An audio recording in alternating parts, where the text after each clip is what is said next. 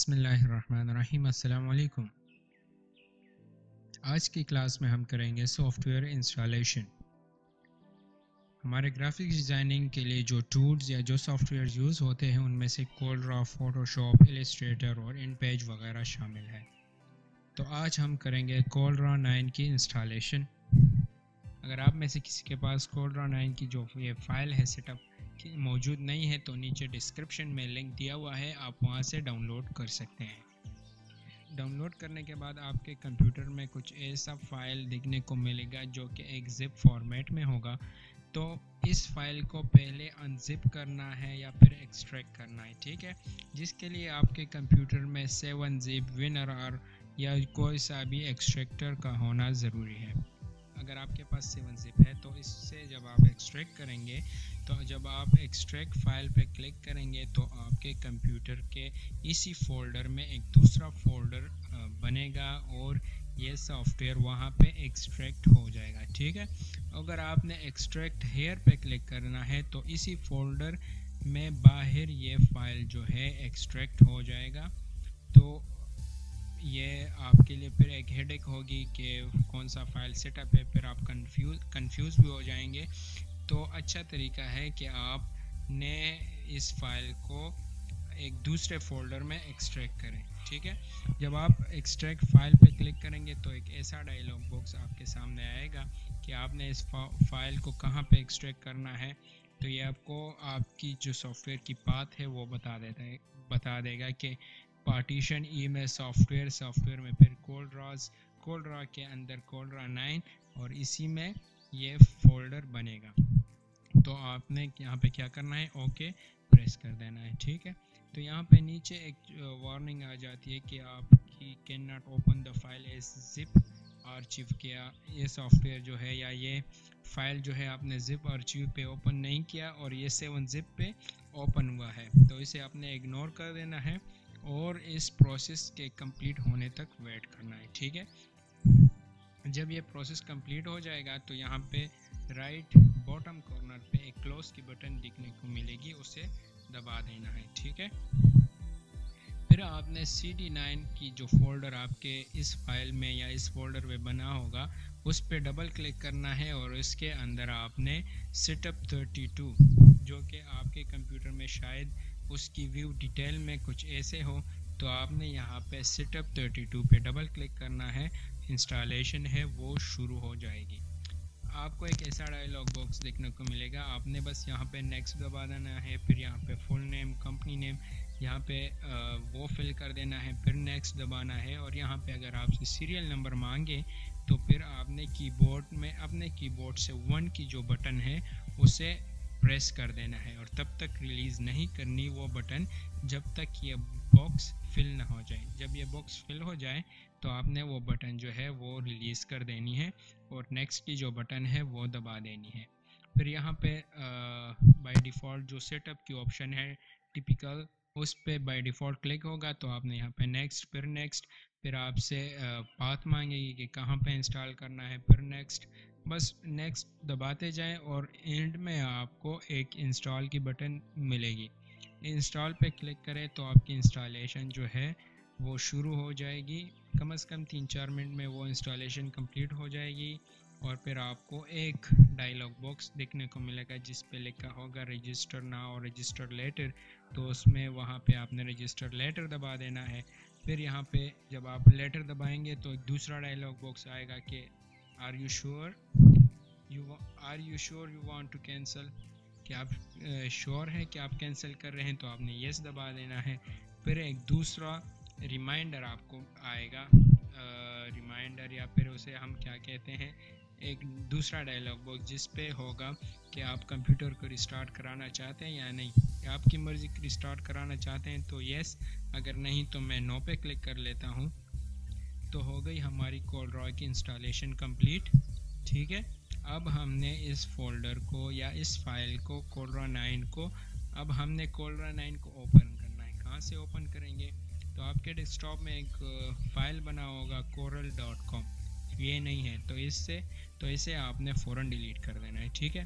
फिर आपने स्टार्ट में जाके थोड़ा सा मेन्यू जो है वो स्क्रॉल कर देना है या फिर सर्च में डायरेक्ट टाइप करें कोरल ड्रा नाइन तो आपको कोरल ड्रा नाइन की जो एक्सी फ़ाइल है, जिसे हम रन करेंगे सॉफ्टवेयर ओपन होगा, वो आपको मिल जाएगी, ठीक है? या इसकी जो सिंबल है, वो है एक हॉट एयर बैलून बना होगा और सामने कोरल ड्रा नाइन लिखा होगा। तो आपने उस पर क्लिक कर देना है। और आपकी जो कोलड्रा है वो ओपन हो जाएगी। यह है कोलड्रा नाइन की first interface, first view. Welcome to Corel draw. ठीक है? इस पे इसमें यहाँ पे लिखा होगा new graphic, open last edited. New graphic आप नए हैं तो न्यू ग्राफिक, नया कुछ बनाना चाहते हैं, open last edited. Last time जो आपने एडिटिंग की है या कुछ काम किया हुआ है, उसे दोबारा खोलना है तो open last edited, open graphic. आपने जो काम इससे पहले कंप्यूटर में सेव की है, उसे ओपन करना है तो ओपन ग्राफिक। नीचे फिर है templates, Corel tutor, what's new तो इसमें आपको टेम्पलेट्स और tutorials, what is new CorelDRAW nine में नया क्या है, वो सब आपको ऑनलाइन मिलेगी। तो चलते हैं, क्लिक कर लेते हैं न्यू ग्राफिक। तो यह है कोरल ड्रा की कोरल ड्रा की वर्किंग एरिया जहाँ पे हम काम करेंगे। ये सब है कोरल ड्रा की view, interface. Left, right side पे हमारे साथ है कलर्स, लेफ़्ट साइड पे टूल्स है, ऊपर मेन्यूज़ वगैरह है। और ये बीच में जो पेज आपको दिखाई दे रही है, ये है हमारा आर्ट बोर्ड एक किस्म इसे हम आर्ट बोर्ड भी कहते हैं और ये हमारा एक पेज है। इसके अंदर हम सब कुछ डिज़ाइनिंग वगैरह इसी पेज के अंदर करेंगे। तो यहाँ हमारे पास ऊपर टॉप पे तीन किस्म की मेन्यूज़ हैं। पहले वाले को हम कहते हैं मेन्यू बार, जो कि हमारे पास है file, edit, view, layout, arrange, effects वगैरह वगैरह। फिर हमारे पास है ये दूसरी लाइन में जो टूल्स वगैरह आपको दिख रहे हैं, इसे हम स्टैंडर्ड टूल बार कहते हैं। यहाँ पर हमारे पास स्टैंडर्ड टूल बार है। मतलब ये हर जगह और हर एक डॉक्यूमेंट में यूज़ हो सकते हैं। फिर है हमारे पास प्रॉपर्टीज़ बार प्रॉपर्टीज़ बार में हमारे स्क्रीन पे या यहाँ पे जो ब्लैंक डॉक्यूमेंट है ब्लैंक एरिया है, यहाँ पे जो कुछ है, उसकी प्रॉपर्टीज़ हमें बताते हैं। लेट सपोज़ यहाँ पे डेस्कटॉप पे या इस पेज पे कुछ भी नहीं है और यहाँ पे मैं क्लिक कर लेता हूँ तो इस पेज की पूरी डिटेल जो है प्रॉपर्टीज़ यहाँ पे दिखाई दे रही है। यहाँ पहला वाला जो ऑप्शन है यह है पेपर टाइप या साइज़ इसमें हमारे पास पेपर टाइप होता है। मुख्तलिफ़ किस्म के टाइप्स है साइज़ है लीगल टेबलॉयड वगैरह A one A two A three A four यहाँ पे फिर इसकी हाइट और वेट की जो इंचज़ में साइज़ है वो दिखाई दे रही है। फिर यहाँ पे है style portrait style landscape style और फिर यहाँ पे इंचज़ मतलब यहाँ पे आप जो भी साइज़ देंगे वो इंचज़ में होगा। अगर आप चाहते हैं कि ये पिक्सल्स में हो, यहाँ पे आप देखें 8.5 11 ये इंचज़ में है। अगर आप चाहते हैं कि आप जो साइज़ दे, वो पिक्सल पिक्सल्स में हो तो आप यहाँ से ये रूलर जो है, या फिर ये यूनिट चेंज कर सकते हैं पिक्सल्स में। आप इसी तरह यार्ड्स में माइल्स में मिलीमीटर में सेंटीमीटर्स वगैरह में चेंज भी कर सकते हैं। लेट सपोज़ मैं पिक्सल्स में चेंज कर लेता हूँ तो यहाँ पे जितनी भी प्रॉपर्टीज़ है, ये रूलर है सब की साइज़ जो है या यूनिट जो है वो पिक्सल्स में कन्वर्ट हो गई। तो बाय डिफ़ॉल्ट हमारे पास ये इंचज़ में होता है, ठीक है?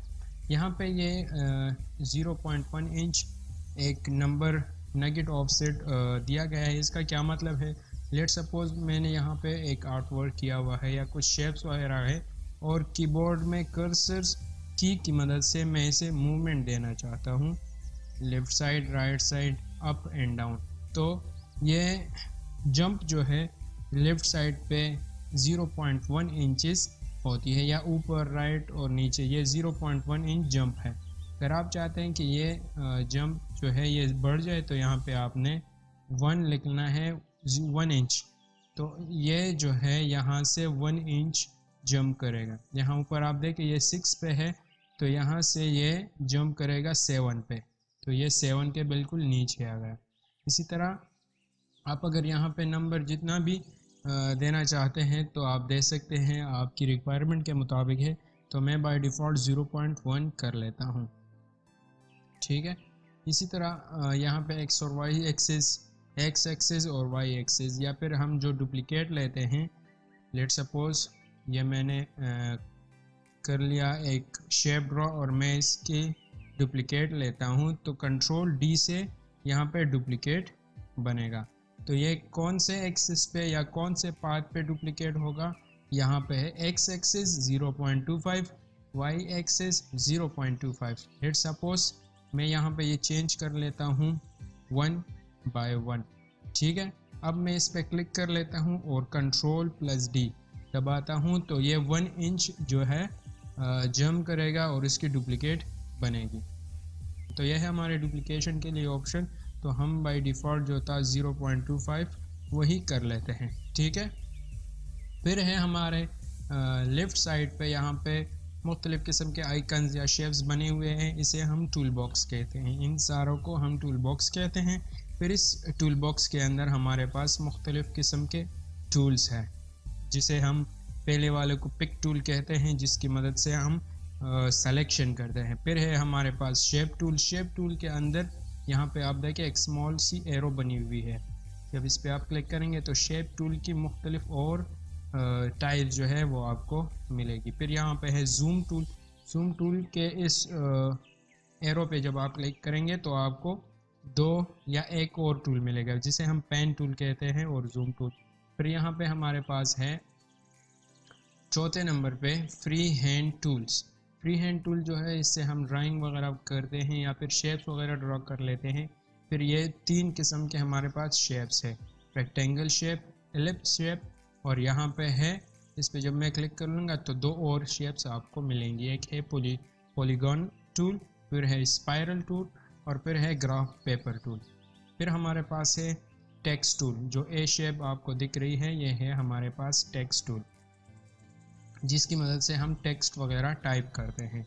फिर है हमारे पास इंटरेक्टिव फिल टूल इससे हम क्या करते हैं, इससे हम अपने टेक्स्ट में शेप्स वगैरह में और डिज़ाइन में कलर फिल करते हैं। फिर है हमारे पास ट्रांसपेरेंसी टूल इसकी मदद से हम क्या करते हैं, इसकी मदद से हम अपने शेप्स वगैरह को या फिर अपने इमेजेस वगैरह जो भी हो हमारे इस पेज पे, उसे हम ट्रांसपेरेंट कर सकते हैं, या फिर एक साइड से, दूसरे साइड से सेंट्रली मुख्तलिफ़ ट्रांसपेरेंसी की टाइप्स हैं, या फिर प्रॉपर्टीज़ है, उससे, या उसी के मुताबिक हम इसे ट्रांसपेरेंट कर सकते हैं। फिर है हमारे पास इंटरेक्टिव ब्लेंड टूल वगैरह, फिर है interactive contour tool interactive distortion tool मुख्तलिफ़ किस्म के टूल्स है। ज़्यादातर इसमें हम क्या यूज़ करते हैं? इसमें हम ड्रॉप शेडो टूल जो है ये यूज़ करते हैं। फिर है हमारे पास eye dropper tool eye dropper tool से हम क्या करते हैं? आई ड्रॉपर टूल से हम एक जगह से कलर पिक कर लेते हैं और फिर यहाँ पे है पेंट बकेट टूल और जो कलर पिक हो जाती है पेंट बकेट टूल से हम उसे दूसरी जगह पे अप्लाई कर सकते हैं। फिर है हमारे पास आउटलाइन टूल आउटलाइन टूल है, इसकी मदद से हम अपने टेक्स्ट को शेप्स वगैरह को आउटलाइन दे सकते हैं। इसे हम स्ट्रोक भी कहते हैं और आउटलाइन या मतलब बॉर्डर एक किस्म की बॉर्डर हम अपने टेक्स्ट शेप्स वगैरह को दे सकते हैं। फिर है हमारे पास कलर की एक और कैटेगरी जिसे हम फिल कलर कहते हैं फाउंटेन फिल डायलॉग इसे हम ग्रेडियंट फिल भी कहते हैं। फिर फिर यह हमारे पास पैटर्न फिल डायलॉग मुख्तलिफ़ किस्म के पैटर्न्स हैं, उसे हम अप्लाई कर सकते हैं। कलर्स की जगह वो यूज़ कर सकते हैं। फिर है हमारे पास टेक्सचर फिल डायलॉग और यह है पोस्क्रिप्ट फिल डायलॉग फिल और यह है कलर डॉक डॉकर विंडो मुख्तलिफ़ किस्म की कलर फिलिंग प्रॉपर्टीज़ है। आहिस्ता आहिस्ता हम बारी बारी एक करेंगे तो आपको समझ आ जाएगा। फिर नीचे आप देखें तो यहाँ पे प्लस एक लेफ़्ट साइड को है और एक राइट साइड को है। इसका क्या मतलब है? इससे हम यहाँ पे देखें पेज वन। तो अगर आपने पेज टू बनाना है, आपका काम ज़्यादा है, एक पे आपने अगर लोगो बनानी है एक पेज पे और दूसरे पेज पे विजिटिंग कार्ड और तीसरे पे ब्राउशर वगैरह फ्लेक्सेस वगैरह तो आपने जस्ट यहाँ पे प्लस पे क्लिक कर देना है तो एक पेज ऐड हो जाएगा। दोबारा क्लिक करना है तो दूसरा पेज दोबारा क्लिक करना है तो इस तरह तीसरा और चौथा पेज क्रिएट हो जाएगा। जितना आप, जितने पेजेस आप बनाना चाहते हैं, आप बना सकते हैं, ठीक है?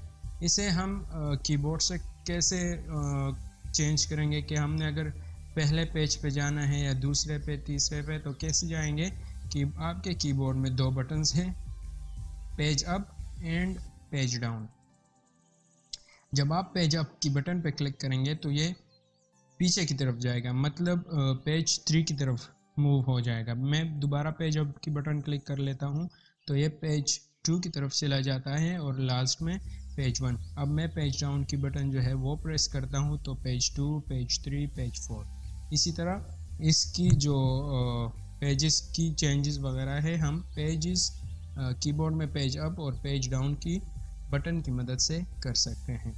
इसे अगर आप रिनेम करना चाहते हैं तो फॉर एग्ज़ाम्पल मैं पेज टू को रिनेम करना चाहता हूँ तो राइट क्लिक कर लेता हूँ और यहाँ पे पेज रिनेम की ऑप्शन आ जाती है तो यहाँ पे मैं लेट सपोज़ लोगो लिख लेता हूँ। फॉर एग्ज़ाम्पल यहाँ पे हमारी जो क्या होगी पेज टू पे लोगो है। पेज थ्री को रिनेम कर लेता हूँ विजिटिंग कार्ड तो पेज थ्री पे विजिटिंग कार्ड है। अगर पेज फोर एक्स्ट्रा है तो राइट क्लिक करें और यहाँ पे है डिलीट पेज तो आपके पास आ गई page one, page two, page three visiting card फिर यहाँ पे थोड़ा सा राइट साइड पे आ जाए तो यहाँ पे है स्क्रॉल बार एक स्क्रॉल बार ये है और ये ये है. इसकी मदद से हम जो है स्क्रॉलिंग करते हैं वर्टिकली और हॉरिजेंटली तो यह है स्क्रॉलिंग और फिर राइट साइड पे जो आपको कलर्स दिख रहे हैं, ज़ाहिर सी बात है ये हमारे पास कलर्स है जिसे हम अपने शेप्स टेक्स्ट वगैरह को अप्लाई करेंगे. फॉर एग्ज़ाम्पल ये बॉक्स है। इसे मैंने कलर देना है तो सबसे पहले मैंने क्या करना है? यहाँ पे एक शेप बना देना है। कैसे बनाएँगे? शेप्स जो भी है, आप सेलेक्ट करें। लेट सपोज़ मैंने सर्कल सेलेक्ट कर लिया। यहाँ पे कीबोर्ड की लेफ़्ट बटन दबा के ड्रैग कर लिया। ठीक है? ड्रैग एंड ड्रॉप अब ड्रॉप हो गई। और फिर आप जो भी चीज़ बना लेते हैं, जो भी टूल यूज़ कर लेते हैं सेकंड से लास्ट नंबर तक, जितने भी टूल से जो भी यूज़ कर लेते हैं तो फ़ौर आपने यहाँ पे पिक टूल दोबारा सेलेक्ट करना है। ठीक है? जब आप पिक टूल सेलेक्ट करेंगे तो आप अपने टेक्स्ट शेप वगैरह को कलर भी दे सकते हैं और उसमें और चेंजेस वगैरह अगर करना चाहते हैं तो और भी, वो भी कर सकते हैं। तो अब मुझे इस कलर इस सर्कल को कलर देना है तो कैसे देंगे? इस सर्कल को सेलेक्ट कर लिया पिक टूल की मदद से और यहाँ पे आके कलर जो आपको पसंद हो वो चूज़ करें, वो अप्लाई कर सकते हैं आप, ठीक है? अगर आप चाहते हैं कि और कलर्स इसमें हैं कि नहीं है, या आप कंफ्यूज हैं कि ये कलर तो कम है, मुझे और भी चाहिए तो आप देखें इस कलर्स के नीचे यहाँ पे दो एरोस हैं। एक नीचे की तरफ़ है और एक लेफ़्ट साइड की तरफ़ है। जब आप नीचे वाली एरो को दबाएँगे तो ये कलर जो है, ये चेंज होते जाएँगे और नीचे से ऊपर जाएँगे। मतलब नीचे और भी कलर्स है और आप उसमें से सेलेक्ट भी कर सकते हैं।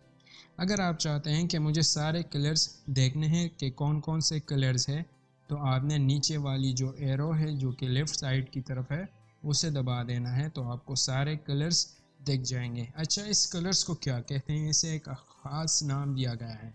ठीक है, इस कलर्स को हम कलर पैलेट्स कहते हैं। ठीक है तो इसका नाम है कलर पैलेट ठीक है, हमारा न्यू ग्राफिक या न्यू डॉक्यूमेंट जो है, वो ओपन हो गया। अब हमारे पास जो दूसरा टूल है, यहाँ पे वो है शेप टूल इसकी मदद से हम शेप्स बनाते हैं, मुख्तलिफ़ किस्म के शेप्स या जो शेप हम बना लेते हैं स्क्वायर रेक्टेंगल वगैरह ट्राइंगल उसमें भी हम चेंजेस कर सकते हैं। तो शेप टूल यूज़ करने के लिए हमने क्या करना है? शेप टूल को किसी दूसरे शेप पे अप्लाई करना है। तो आज आप लोगों का ये शेप्स टूल जो है रेक्टेंगल एलिप्स और ग्राफ पेपर वगैरह पॉलीगोनल ये सब क्लियर हो जाएगा और साथ ही साथ शेप टूल भी हो जाएगा। तो सबसे पहले शेप टूल यूज़ करने के लिए हमने यहाँ पे एक शेप बनाना है। शेप बनाने के लिए कोई सा भी शेप है, उस पर क्लिक करें और ड्रैग एंड ड्रॉप कर लें, ठीक है? ये शेप मैंने बना लिया। तो जैसे मैंने कहा था कि जो भी टूल हम यूज़ करें पिक टूल के अलावा फिर बाद में फ़ौर पिक टूल सेलेक्ट कर देना है, ठीक है?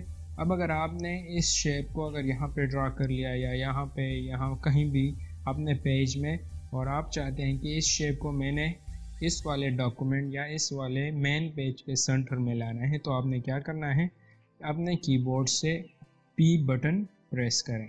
तो ये इस पेज की सेंटर में ख़ुद ही आ जाएगा।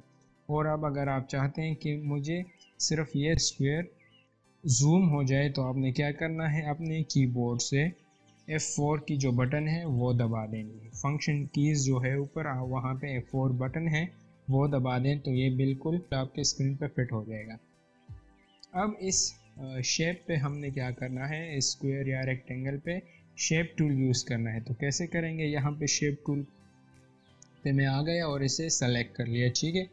थोड़ी देर के लिए अपनी कर्सर की जो है टूल पे रखा करें तो आपको शॉर्टकट की भी देखने को मिलेगी। जैसे कि मैं यहाँ पे ले आता हूँ माउस की कर्सर तो यहाँ इसकी शॉर्टकट की है F10 नीचे H इसी तरह आ, कुछ टूल की शॉर्टकट की जो है वो यहाँ पे दी गई है जैसे F8 वगैरह और यहाँ पे F6 तो हम F10 दबा देते हैं या फिर यहाँ मैनुअली आके शेप टूल सेलेक्ट कर लेते हैं। तो जैसे ही मैंने शेप टूल सेलेक्ट कर लिया तो देखें कि इस रेक्टेंगल्स के जो कॉर्नर्स है, उस पर एक स्क्वायर नोड जो है वो अपेयर हो गई। एक स्क्वायर नोड जो है ब्लैक कलर की वो आ गई।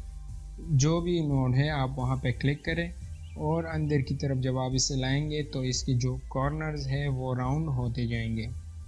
फोर दबा देता हूँ दोबारा तो ये फिट हो जाएगा स्क्रीन पे। अगर आप नोट पे क्लिक करके अंदर ले आएँगे तो ये सर्कल की शेप में आहिस्ता आहिस्ता चेंज होगा। अगर आप फिर नोट पे क्लिक करके बाहर की तरफ़ ले जाएँगे इस नोट को तो ये वापस स्क्वायर की शेप इख्तियार कर लेगा। या फिर इसकी जो नोट्स है, वो वापस अपने हालत में आ जाएँगे। तो इसकी मदद से हम शेप्स में चेंजेस कर सकते हैं। लेट सपोज़ मैं यहाँ पे पॉलीगॉन जो टूल है, ये यूज़ कर लेता हूँ। स्क्वायर डिलीट कर लेता हूँ। स्क्वायर यहाँ पे जो शेप्स वगैरह टेक्स्ट वगैरह मैं बना लेता हूँ तो उसे हम कैसे डिलीट करेंगे या कैसे रिमूव करेंगे जस्ट उसे सेलेक्ट करें। लेट सपोज़ मुझे ये शेप जो है ये डिलीट करना है तो मैंने यहाँ पे सेलेक्ट कर लिया और कीबोर्ड से डिलीट की बटन जो है वो प्रेस कर लें। ठीक है? या फिर आपने उसी शेप पर राइट क्लिक करके डिलीट ऑप्शन दबा दें। ठीक है? डिलीट हो गई अब मुझे। ये स्क्वायर जो है वापस लाना है। तो मैंने क्या करना है? कंट्रोल जेड शॉर्टकट की है और यहाँ पे ऊपर आप देखें अरेंज और इफ़ेक्ट मेन्यू के नीचे यहाँ पे अनडू और redo control shift Z redo है और कंट्रोल जेड जो है वो अनडू है। तो इसे मैं डिलीट कर लेता हूँ और यहाँ पे आके पॉलीगॉन टूल जो है ये बना लेता हूँ। ठीक है बाय डिफ़ॉल्ट यहाँ पॉलीगॉन टूल के जो कॉर्नर है या एजेस है ये फाइव होंगे. One two three four five ठीक है? अगर आप चाहते हैं कि ये फाइव की जगह हम थोड़ा ज़्यादा कर लें तो यहाँ पे ऊपर देखें स्टार बना हुआ है. तो इसे आप जितना ज़्यादा कर सकते हैं, कर सकते हैं. टेन हो गए तो इसके जो नोड्स है या कॉर्नर्स है, वो टेन हो गए. अब शेप टूल की मदद से मैं क्या कर सकता हूँ? इसमें चेंजेस शेप टूल मैंने सेलेक्ट कर लिया. यहाँ पे ये नोड्स जो है आपको दिख रहे हैं वाइट नोड से। जो भी नोड आप सेलेक्ट करेंगे प्रेस कर लें माउस की लेफ़्ट बटन अंदर की तरफ़ आएँगे तो इससे एक अलग और नया शेप बनेगा। और जब बाहर की तरफ़ जाएँगे तो भी एक नया शेप बनेगा। ठीक है, ये बाहर की तरफ़ और अब अंदर की तरफ़ ले आता हूँ तो अंदर की तरफ़ एक ऐसा स्टार सा बन गया। अब आप चाहेंगे कि हमने स्टार बनाना है तो आपने स्टार कैसे बनाएँगे? यहाँ पॉलीगॉन टूल सेलेक्ट करें। ठीक है कंट्रोल की मदद से माउस की जो लेफ़्ट बटन है, उसे रिलीज़ करने से पहले कंट्रोल की बटन जब आप दबाएँगे, ठीक है तो ये स्क्वायर या शेप या सर्कल जो भी टूल आप यूज़ कर रहे हैं, जो भी शेप टूल आप यूज़ कर रहे हैं, वो बिल्कुल परफेक्ट बनेगा। दोनों साइड से लेफ़्ट राइट टॉप बॉटम उनका हर एक साइज़ साइड जो है, वो बिल्कुल इक्वल होगा। ठीक है, आप यहाँ पे देख सकते हैं। कि मैं अगर स्क्वायर बनाना चाहता हूँ, अगर मैं नीचे की तरफ़ आ गया, ठीक है स्क्वायर की जो शेप है वो एक रेक्टेंगल सी बन गई। और कंट्रोल की बटन दबा देता हूँ तो इससे एक परफेक्ट स्क्वायर बन जाता है। तो कंट्रोल बटन की मदद से हम अपने शेप को बिल्कुल परफेक्ट बना सकते हैं। एवरी साइड पे वो इक्वल होगा, ठीक है? तो हम अगर स्टार बनाना चाहते हैं पॉलीगॉन टूल में से तो कंट्रोल की मदद से शेप ड्रॉ कर लें, ठीक है? पिक टूल सेलेक्ट करके इन्हें साइड पे कर लें, ताकि ये दोनों एक दूसरे के साथ ना मिले, एक दूसरे से थोड़ा सा अलग हो फासले पर हो। फिर यहाँ पे आके शेप टूल सेलेक्ट कर ले, और यहाँ पे जो नोड्स हैं, जो साइड्स पे जितने भी नोड्स हैं आप उनमें से कोई एक सेलेक्ट करें और अंदर की तरफ़ ले आए तो उससे एक स्टार बन जाता है और जिसे आप कलर वगैरह अगर देना चाहते हैं तो यहाँ साइड से कलर्स भी दे सकते हैं लाइक दिस तो ये हो गई शेप टूल अब आते हैं नाइफ टूल पे. नाइफ टूल आपको पता है नाइफ से हम क्या करते हैं? कटिंग करते हैं. तो हम इससे भी कटिंग कर सकते हैं. लेट सपोज़ मैंने ये स्क्वायर बना लिया या रेक्टेंगल है, जो भी है, और इसे मैं काटता हूँ. तो यहाँ पे आपने क्या करना है? चारों साइड पे जो लाइन है, कोई सा एक सेलेक्ट करें. ठीक है? और उसके बिल्कुल टॉप पे रखे तो ये नाइफ जो है, ये इसकी हेड जो है, नीचे की तरफ़ हो जाएगी, ये बिल्कुल स्ट्रेट हो जाएगा, ठीक है? तो इस पे यहाँ पे क्लिक करें और जहाँ तक काटना है, वहाँ तक ले जाएँ। यहाँ फिर इसकी जो नोट है, वो स्ट्रेट हो गई। तो आप पिक टूल सेलेक्ट करके इसे आप देख लें तो ये दो हिस्सों में तकसीम होगा, डिवाइड होगा। तो ये हो गई हमारी कटिंग। अब अगर मैंने दोबारा काटना है यहाँ पे क्लिक करें। इस नाइफ़ को देखें, ये बिल्कुल स्ट्रेट है और अब कटिंग करें। ये बिल्कुल फ्री है। माउस को आपने क्या करना है? रिलीज़ नहीं करना। ठीक है? फ्री कटिंग है। मतलब आप जहाँ तक काटना चाहते हैं, वहाँ तक कर सकते हैं। अब मैंने दोबारा करना है तो यहाँ पे मैंने क्लिक कर लिया और आपकी मर्ज़ी जैसे काटना चाहते हैं, आप काट सकते हैं। ये देखें तो हमारा ये शेप जो है, ये दो तीन पार्ट्स में डिवाइड हो गया।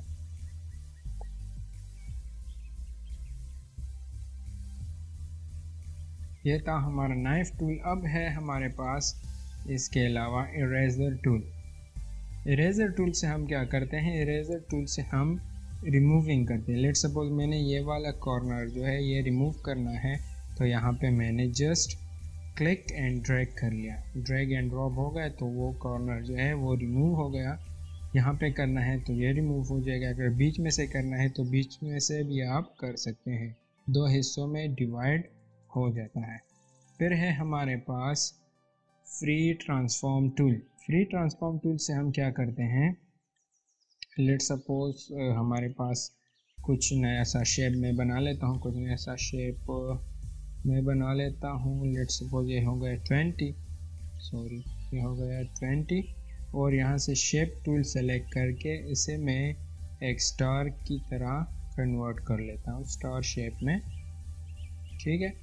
अब मैंने क्या करना है? अब मैंने ये फ्री ट्रांसफॉर्म टूल जो है, ये यूज़ करना है। तो यहाँ पे इस शेप में आप देखें तो यहाँ पे भी वही नोट्स बन गए हैं। तो आपने क्या करना है? किसी एक नोट पे क्लिक करें।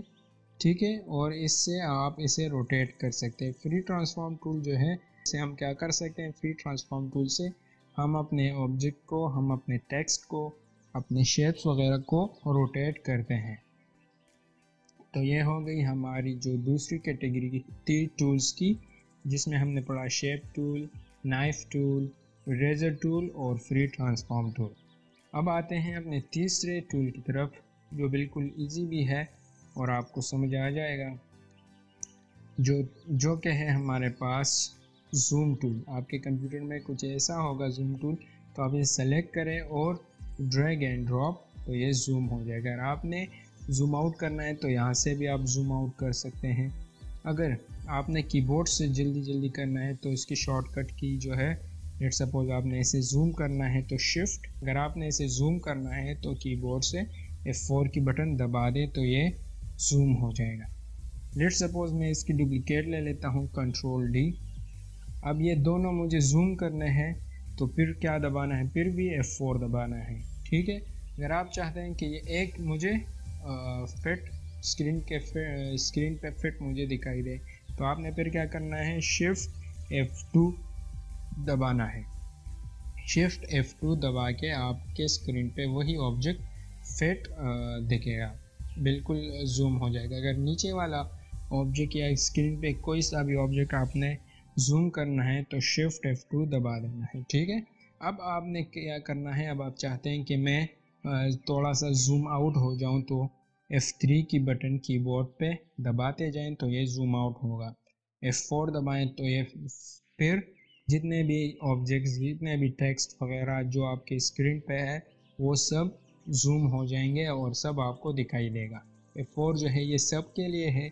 F F2 जब हम सेलेक्ट करेंगे शिफ्ट F2 तो वो सेलेक्टेड ऑब्जेक्ट को जूम करेगा और F3 जो है, ये हमें जूम आउट की ऑप्शन जो है, वो देती है।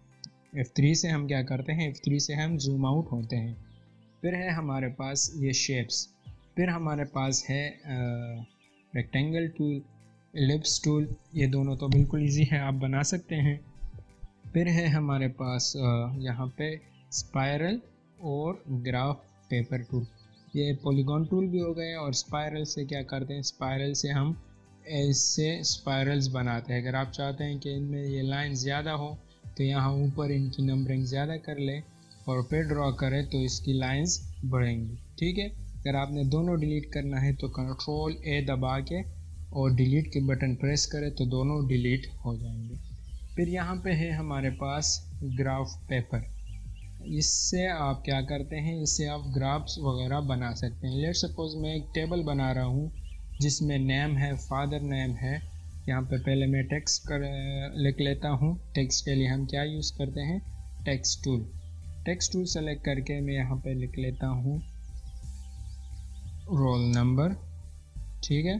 फिर है नेम फादर नेम और क्लास ठीक है? ये हो गई मेरी हेडिंग जिसके लिए मैं फ़ोन यूज़ कर लेता हूँ एरियल और साइज़ कर लेता हूँ फोर्टीन ठीक है? ये हो गई one two three four four columns बनेंगे और रोज़ आपकी मर्ज़ी जितना बनाना चाहते हैं। तो यहाँ पे आप देखें लिफ्ट टॉप कॉर्नर पे आप देखें तो यहाँ पे है नाइन बाई थर्टी मतलब नाइन कॉलम्स और टेन थर्टी रोज तो मैं यहाँ पे कर लेता हूँ फोर कॉलम्स और टेन रोज। तो यहाँ पे बनेगा फोर कॉलम्स और टेन रोज, ठीक है?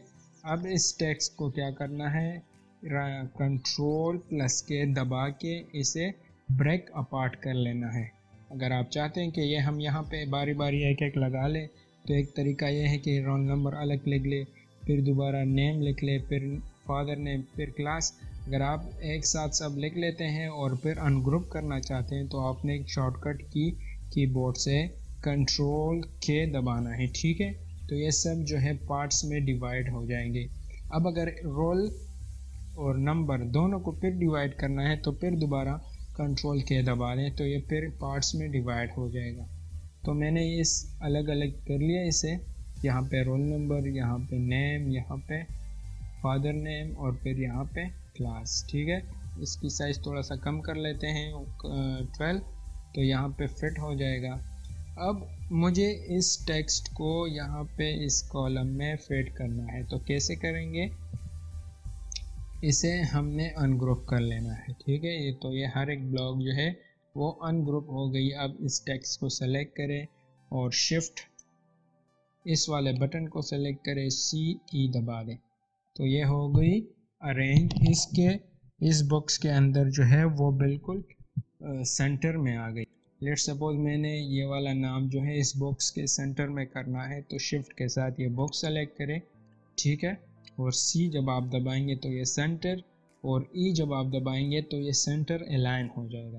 अगर आप चाहते हैं कि इस नेम को मैंने लेफ़्ट साइड पे अरेंज करना है तो नेम को क्लिक करें। शिफ्ट बॉक्स और कीबोर्ड से एल बटन दबाएँ तो ये हो गया लेफ़्ट साइड अगर राइट साइड पे करना है तो दोनों को सेलेक्ट करें और आर की बटन दबाएँ तो ये राइट साइड पे अरेंज हो जाएगा। तो मैंने कहाँ पे करना है?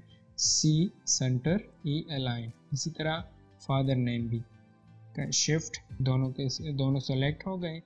और सी ई इस तरह क्लास क्लास प्लस शिफ्ट के साथ हमने बॉक्स सेलेक्ट कर लिया सी दबा के सेंटर ई अलाइन तो ये चारों टेक जो है हमने इसी कॉलम्स में अरेंज कर लिए और सेंट्रल लाइन या सेंट्रली अलाइन हो गए. अब इसके अंदर अगर आप टेक्स्ट लिखना चाहते हैं तो टेक्स्ट भी लिख सकते हैं, अगर आप चाहते हैं कि कि पहले वाली जो रो है, इसकी कलर अलग हो तो पहला वाला ब्लॉक सेलेक्ट करें और कलर दे, फिर दूसरा वाला सेलेक्ट करें और कलर दे. अगर ये काम मुश्किल है, ये तरीका मुश्किल है डिफ़िकल्ट है ये मेथड जो है टाइम लेगा। तो फिर आपने क्या करना है? पहला वाला बॉक्स सेलेक्ट करना है। फिर शिफ्ट की बटन को दबाए रख रिलीज़ नहीं करनी। दूसरा बॉक्स भी सेलेक्ट करें, तीसरा भी और चौथा भी। और इसे जो कलर आपको पसंद हो, वही कलर दे दें। ठीक है? अब जो टेक्स्ट है, वो दिखाई नहीं दे रहा। इसका मतलब यह है कि ये बॉक्सेस जो है टेक्स्ट के ऊपर है। इस बॉक्सेस को हमने टेक्स्ट के पीछे ले जाना है। तो क्या करेंगे? शिफ्ट की बटन दबाएँ और पेज डाउन बॉक्सेस को सेलेक्ट सेलेक्ट करें और शिफ्ट की बटन दबा के पेज डाउन कर लें। तो ये बॉक्सेस पेज के या टेक्स्ट के नीचे आ जाएँगी, ठीक है? तो ये हो गया हमारा टेबल एक अच्छा सा बन जाता है। अगर आप चाहते हैं, यहाँ पे हमने एक टूल नहीं किया जो कि है पेन टूल इससे हम क्या करते हैं? इससे हम अपने पेज को मूवमेंट देते हैं। अगर आप यहाँ पे नीचे काम कर रहे हैं फॉर एग्ज़ाम्पल ये टेबल बन गई और नीचे काम करना चाहते हैं तो इस पेन की मदद से आप इस पेज को नीचे ले आ सकते हैं, ऊपर ले आ सकते हैं राइट साइड और लेफ़्ट साइड को भी ले जा सकते हैं। टूल है free hand tool free hand tool से हम क्या करते हैं? फ्री हैंड टूल से हम लाइंस वगैरह ड्रॉ करते हैं और लाइंस और फिर उसी लाइन से हम मुख्तलिफ़ किस्म के शेप्स वगैरह भी ड्रॉ करते हैं। तो लाइंस ड्रॉ करने के लिए हम क्या करते हैं? यहाँ पे माउस की जो लेफ़्ट बटन है जस्ट उसकी लेफ़्ट बटन प्रेस कर लेते हैं और जहाँ तक हमने लाइन ड्रॉ करना होता है, यहाँ तक या फिर यहाँ तक, वहाँ पे दूसरी दफ़ा लेफ़्ट बटन क्लिक कर लेते हैं, ठीक है? अब अगर आप इस लाइन पे गौर करें तो ये लाइन स्ट्रेट नहीं है, थोड़ी सी टेढ़ी है। तो इस लाइन को हम स्ट्रेट कैसे करेंगे? क्योंकि माउस तो ज़ाहिर सी बात है स्ट्रेट नहीं रहती, हिलती है ज़रूर तो हमने क्या करना है, अपने कीबोर्ड से कंट्रोल की जो बटन है, उसे प्रेस कर लेना है, ठीक है? और तब तक रिलीज़ नहीं करनी, जब तक हमने दूसरा पॉइंट क्लिक ना किया हो। जब मैंने यहाँ पे क्लिक कर लिया तो माउस की बटन भी मैंने रिलीज़ कर ली। अब अगर मैंने कंटिन्यू एक लाइन बनाना है, उसे दूसरे डायरेक्शन पे भी कर्व करना है या रोटेट करना है तो फिर क्या करना होगा? यहाँ से आप फॉर एग्ज़ाम्पल मैंने यहाँ से लाइन ड्रॉ करना स्टार्ट कर लिया कंट्रोल की मदद से लाइन स्ट्रेट हो गई। अब मैंने यहाँ से कंटिन्यूसली दूस लाइन जो है वो आगे ले जाना है किसी दूसरे डायरेक्शन में। तो फिर क्या करना है, यहाँ पे दोबारा क्लिक कर लेंगे। माउस की जो कर्सर है, उससे आप देखें तो वहाँ पे एक एरो बनी हुई है कि आपने कंटिन्यू करना है या एंड पॉइंट यही है। तो मैंने यहाँ से फिर कंटिन्यू करना है तो यहाँ पे मैंने माउस की लिफ्ट बटन क्लिक कर ली। और आगे की तरफ़ मैंने माउस की कर्सर को मूव कर लिया। फिर यहाँ पे दोबारा एक क्लिक और फिर दूसरा क्लिक यहाँ से यहाँ तक। फिर यहाँ से यहाँ तक लाइन ड्रॉ हो गई। स्ट्रेट कंट्रोल की मदद से लाइन स्ट्रेट हो गई। इन शॉर्ट आपने अगर लाइन कंटिन्यू करना है तो एक पॉइंट से दूसरे पॉइंट तक अगर मैंने यहाँ से दोबारा लाइन कंटिन्यू करना है तो मैंने यहाँ पे डबल क्लिक करना है। तो जब आप डबल क्लिक करेंगे तो लाइन वहाँ से फिर शुरू होगी और जहाँ तक आप ले जाना चाहते हैं, जिस डायरेक्शन में आप ले जाना चाहते हैं तो आप ले जा सकते हैं लाइन को। ठीक है? तो ये लाइन है, इससे हम मुख्तलिफ़ किस्म के शेप्स वगैरह भी बनाते हैं। इसे मैंने सेलेक्ट करके, इसे मैंने सेलेक्ट कर लिया और डिलीट ठीक है? अब मैंने क्या करना है? अब इस लाइन को मैंने कर्व में चेंज करना है। इस लाइन से मैंने कर्व बनाना है। कैसे बनाएँगे? कंट्रोल की मदद से लाइन मैंने ड्रॉ कर लिया और यहाँ से पिक टूल सेलेक्ट करके F4 बटन जो है कीबोर्ड में वो दबा दी। तो ये लाइन जो है वो जूम हो गई। अब मैंने यहाँ पे क्या करना है? दूसरा जो टूल है हमारे पास शेप टूल वो सेलेक्ट कर लिया और इस लाइन पे आप कहीं भी क्लिक कर सकते हैं। तो आपको एक स्टेरिक किस्म की डॉट बनते हुए दिखेगी। ठीक है तो ये यहाँ पे मैंने लिट सपोज़ सेंटर में क्लिक कर लिया। और अपने कीबोर्ड से राइट की बटन प्रेस करें तो आपको एक ऑप्शन मिलेगा टू कर्व मतलब ये लाइन जो है, ये कर्व में कन्वर्ट करना है। तो यहाँ पे आपने क्या करना है? टू कर्व सेलेक्ट कर लेना है। ठीक है? मैं कंट्रोल जेड कर लेता हूँ वापस। यहाँ पे क्लिक कर लेता हूँ तो एक स्टेरिक बनेगा। ठीक है? तो राइट क्लिक करके यहाँ पे भी हमारे पास है टू कर्व और यहाँ ऊपर आप देखें तो यहाँ पे भी एक ऑप्शन है यहाँ पे क्लिक कर लेता हूँ। यहाँ पे यहाँ पे ऊपर भी एक ऑप्शन है कन्वर्ट लाइन टू कर्व तो आप यहाँ से भी इस लाइन को कर्व में कन्वर्ट कर सकते हैं। ठीक है तो ये लाइन हो गई कन्वर्ट और अगर आप यहाँ पे अगर लेफ़्ट साइड की जो नोड है, यहाँ पे आप जब क्लिक करेंगे या फिर राइट साइड की नोड पे जब आप क्लिक करेंगे तो आपको वो कर्व जो है, वो बिल्कुल क्लियर दिखेगी। मैं दोबारा कर लेता हूँ राइट सेंटर पे मैंने क्लिक कर लिया, राइट बटन दबा के माउस की टू कर्व में कन्वर्ट हो गई, ठीक है लाइन? जब मैं यहाँ पे लेफ़्ट लेफ़्ट नोट को क्लिक कर लेता हूँ तो यहाँ सेंटर में दो डॉट्स दिखने को मिल रहे हैं। फिर जब मैंने यहाँ पे राइट साइड पे क्लिक कर लिया, तब भी दो डॉट्स जो है वो मुझे दिख दिख रहे हैं, ठीक है? अब मैंने क्या करना है, इस लाइन को कर्व में कन्वर्ट करना है या कर्व बनाना है। तो कैसे करेंगे? इस वाले नोट को या इस वाले नोट को? ऊपर ले जाएँ और दूसरा नोट जो है, उसे आप नीचे ले आ सकते हैं। अगर आपका जो लाइन है या जो नोट है वो गायब हो जाता है तो आपने फिर यहाँ पर राइट या लेफ़्ट साइड की नोट जो है, उसे दबा देना है। तो आपकी जो लाइंस है डॉटेड या जो पॉइंट है जिसकी मदद से आप उसे कर्व में कन्वर्ट करेंगे तो वो आपको दिख जाएगा। ठीक है? इसे आप ऊपर की तरफ़ भी ले जा इसे आप ऊपर की तरफ़ भी ले जा सकते हैं और नीचे की तरफ़ भी ले आ सकते हैं। तो ये कन्वर्ट हो गई एक लाइन में, ठीक है? एक और एग्जांपल दे देता हूँ। अब मैंने एक कंटिन्यू लाइन कंटिन्यूस लाइन बना के उससे कर्व में कन्वर्ट करना है। तो क्या करना है? कंटिन्यू लाइन के लिए यहाँ से यहाँ तक कंट्रोल की मदद से स्ट्रेट लाइन फिर डबल क्लिक करके नीचे की तरफ़ कंट्रोल की मदद से स्ट्रेट लाइन फिर डबल क्लिक फिर यहाँ से यहाँ तक। ठीक है, फिर डबल क्लिक और यहाँ से एंड पॉइंट जो हमारे पास है, वहाँ तक मैं ले आ जाता हूँ। ठीक है तो ये शेप जो है ये कंप्लीट हो गई और अब मैंने इसे कर्व में कन्वर्ट करना है। तो क्या करना है, ये पीछे वाली लाइन जो है मैं मैं डिलीट कर लेता हूँ और इस शेप को सेंटर में ले आता हूँ। ठीक है, अब यहाँ पे शेप की जो टूल है, इसे सेलेक्ट कर ले और आपको चार नोड चार नोट्स आपको दिखेंगे। जब आप किसी भी लाइन पे आपने क्लिक कर लेना है और राइट क्लिक करें टू कर्व तो ये लाइन हो गई कर्व में कन्वर्ट आपने हर एक लाइन जो है, उसे सेलेक्ट करना होगा और उसे फिर कर्व में कन्वर्ट करना है. तो बारी बारी मैं एक एक लाइन जो है, उसे कर्व में कन्वर्ट कर लेता हूँ. ठीक है? तो ये हो गई सब लाइंस कर्व में कन्वर्ट अब इसे मैं कर्व इससे बना सकता हूँ. इसकी जो शेप है, वो मैं चेंज कर लेता हूँ. अगर आप यहाँ पे करते हैं तो इस वाले नोट पे क्लिक करें और अगर आप सेंटर से इसे मूवमेंट देना चाहते हैं तो ये एक सिंपल सी कर्व में कन्वर्ट होगी। तो ये एक सिंपल सी कर्व में कन्वर्ट होगी जो कि बाहरी तरफ़ होगी या फिर अंदर की तरफ़।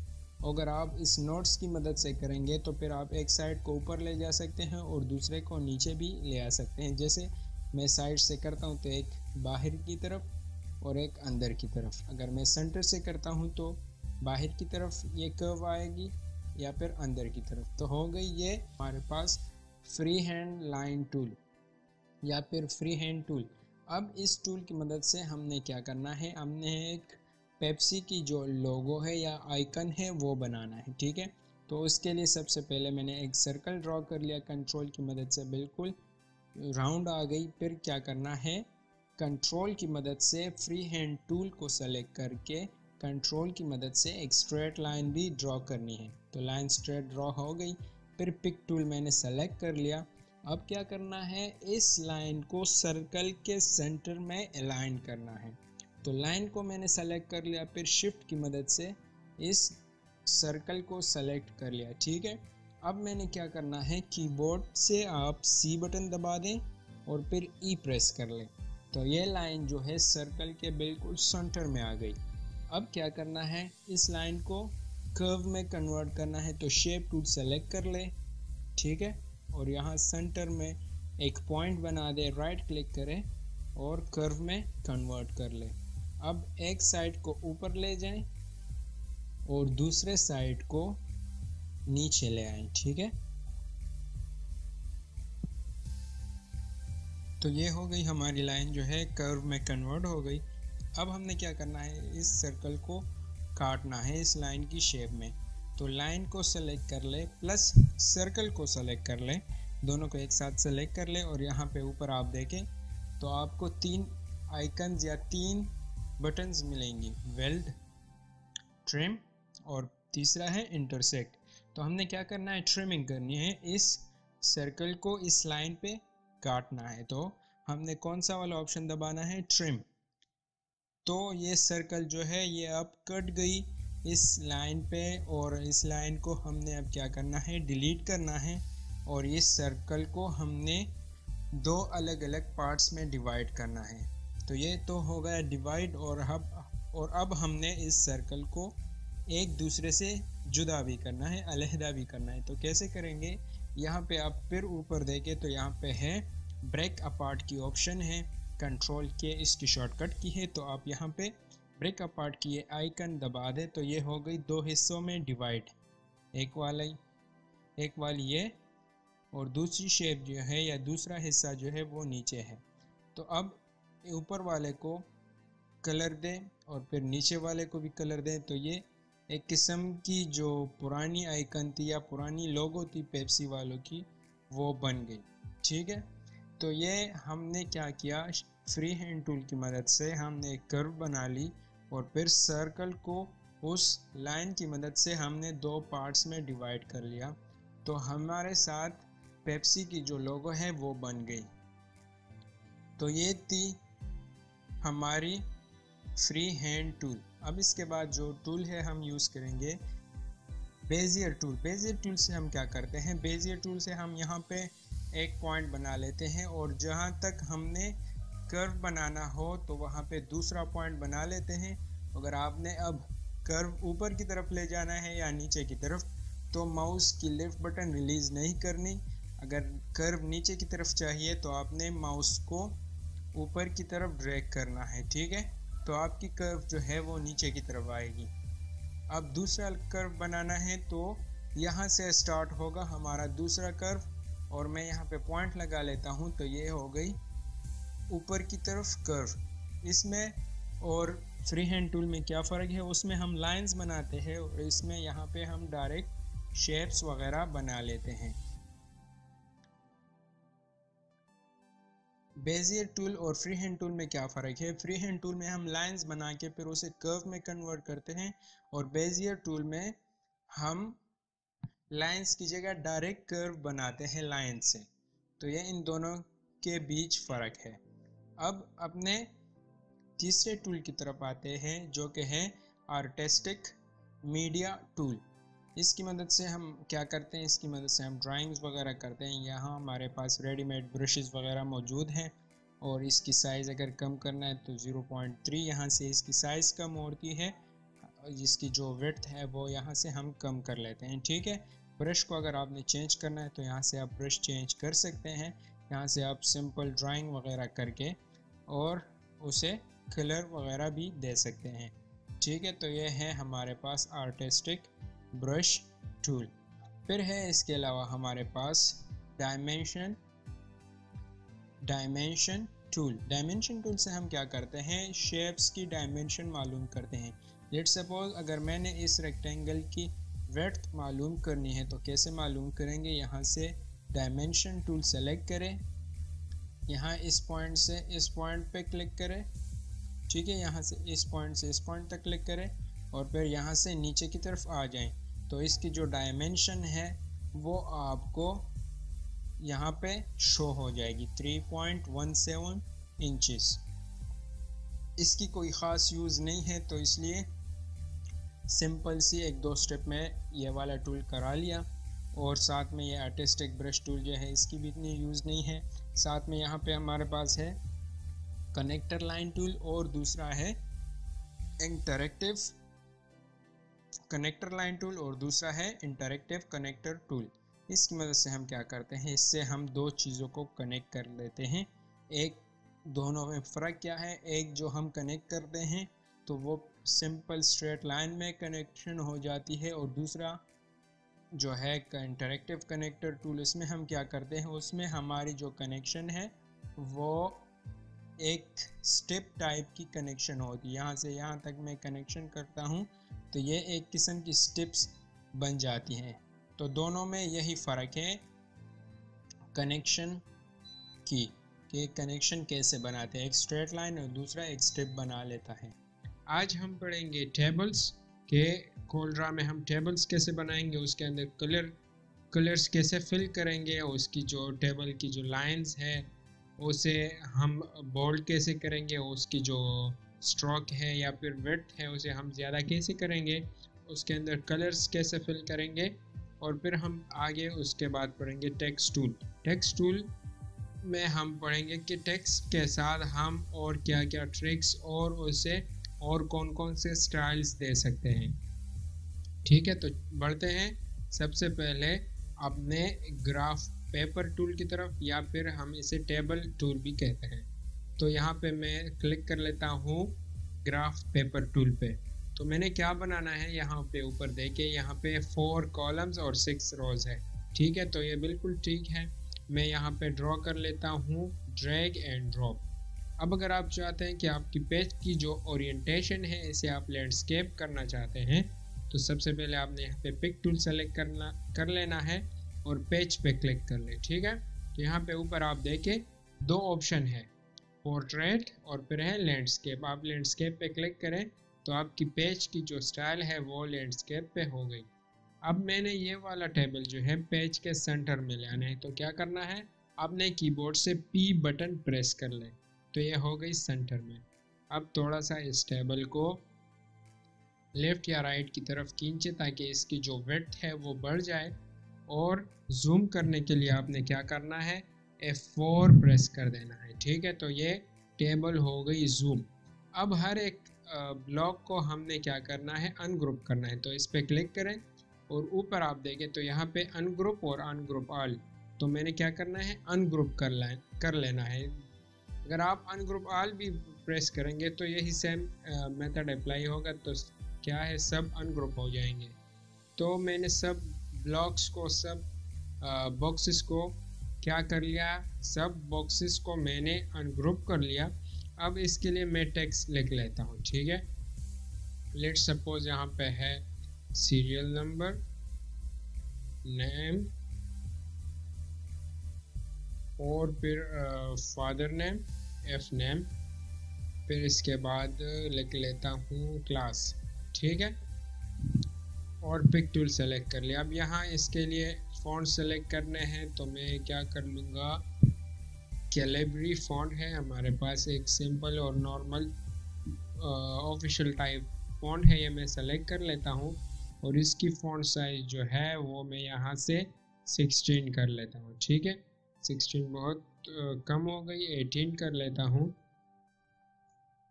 तो ये हो गई 18 अब मैंने इन सब टेक्स्ट को क्या करना है? ब्रेक अपार्ट करना है। तो पिछली वीडियो में मैंने कहा था ब्रेक अपार्ट की जो शॉर्टकट की है, वो है कंट्रोल के तो ये हो गई ब्रेक अपार्ट अब इस टेक्स्ट को इस बॉक्स के सेंटर में लाना है। तो वही पुरानी मेथड है। शिफ्ट के साथ बॉक्स सेलेक्ट करें। सी और ई e दबाए। ठीक है?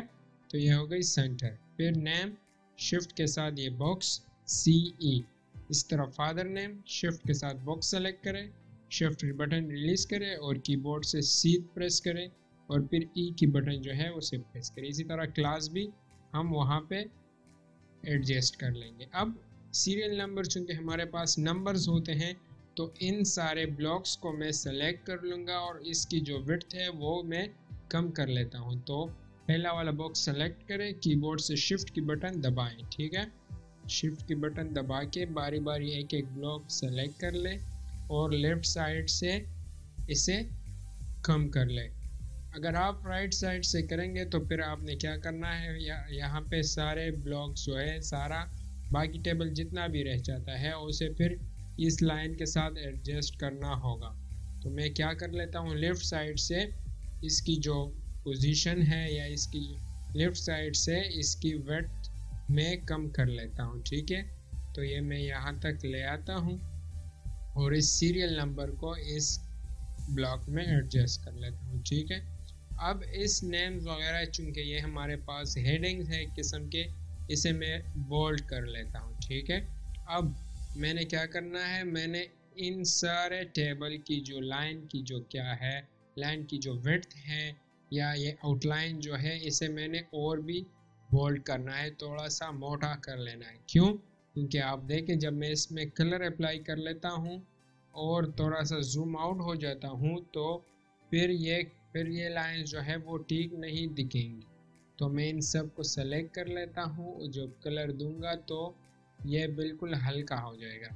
मैंने क्या करना है? सबसे पहले इस टेक्स्ट को सेलेक्ट सेलेक्ट करें।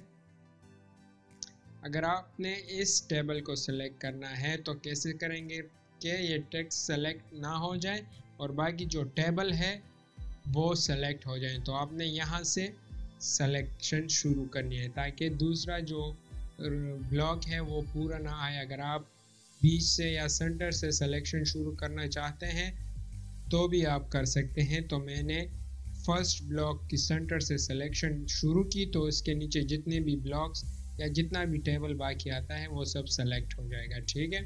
अब आपने क्या करना है? शिफ्ट की बटन प्रेस करके क्लास वाली जो बॉक्स है, उसे सेलेक्ट करें, फिर फिर फादर नेम नेम और फिर लास्ट में सीरियल नंबर अब क्या करना है? इनकी जो लाइन है या आउटलाइन है इसे बोल्ड करना है।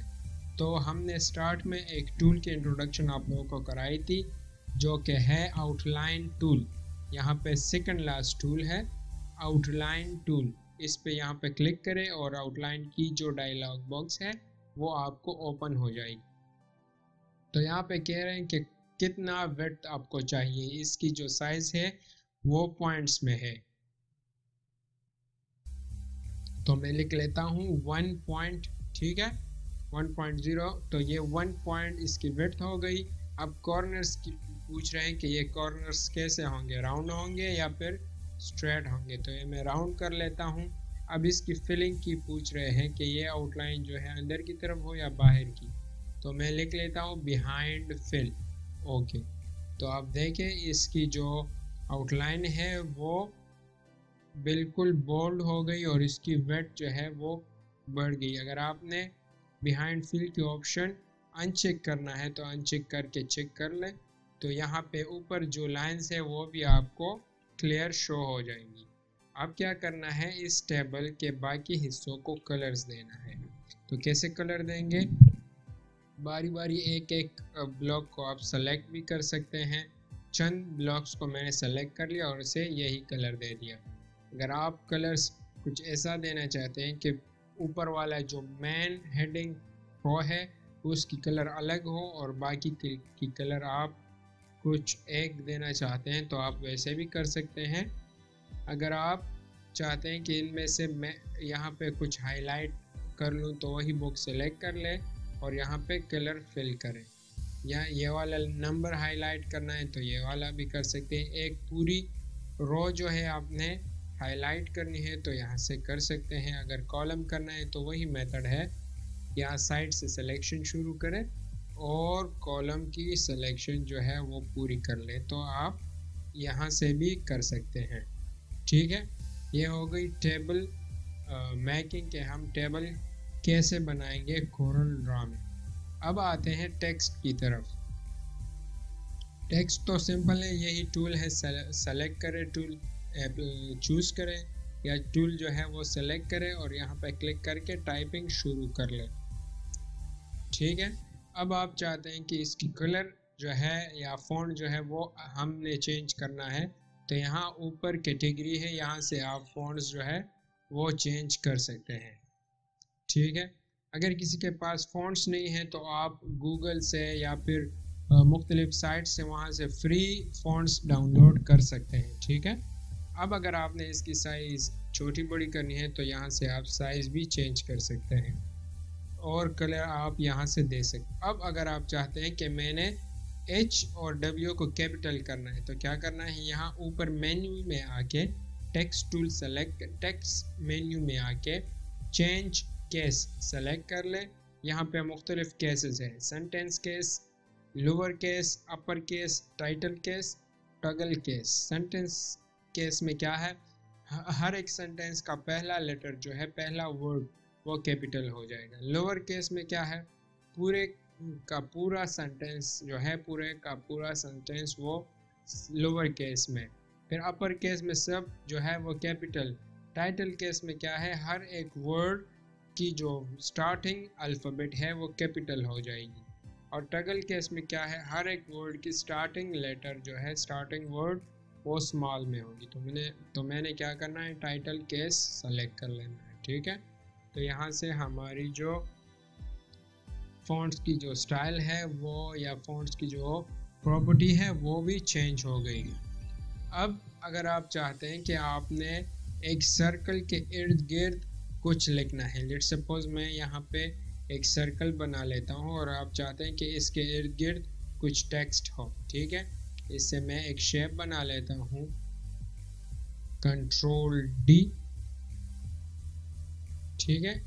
डुप्लीकेट हो गई। सेंटर और ई e प्रेस करके इसे अलाइन कर लिया। अब थोड़ा सा इसकी साइज़ जो है वो मैंने कम कर लिया यहाँ अंदर की तरफ़। और इसे मैं कलर देता हूँ। डार्क ब्लू है कि हाँ डार्क ब्लू और फिर यहाँ पे स्काई कलर अप्लाई कर लेता हूँ। ठीक है? अब मैंने इसके इर्द गिर्द क्या करना है? टेक्स्ट लिखना है। तो मैं क्या कर लेता हूँ?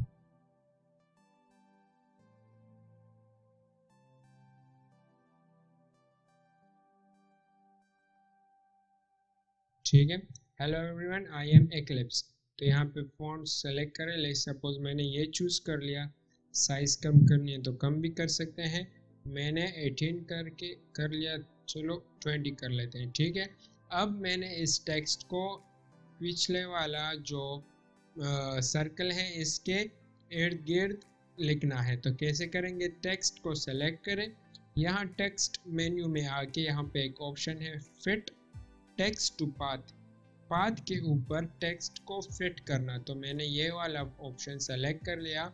और यहाँ पे ये एरो जो है, पहले वाले बॉक्स या पहले वाले शेप जो है, जो भी है सर्कल है स्क्वायर है रेक्टेंगल है ट्राइंगल है, उस पर उसकी जो बॉर्डर है या स्ट्रोक है, उस पर क्लिक कर लेना है। ठीक है?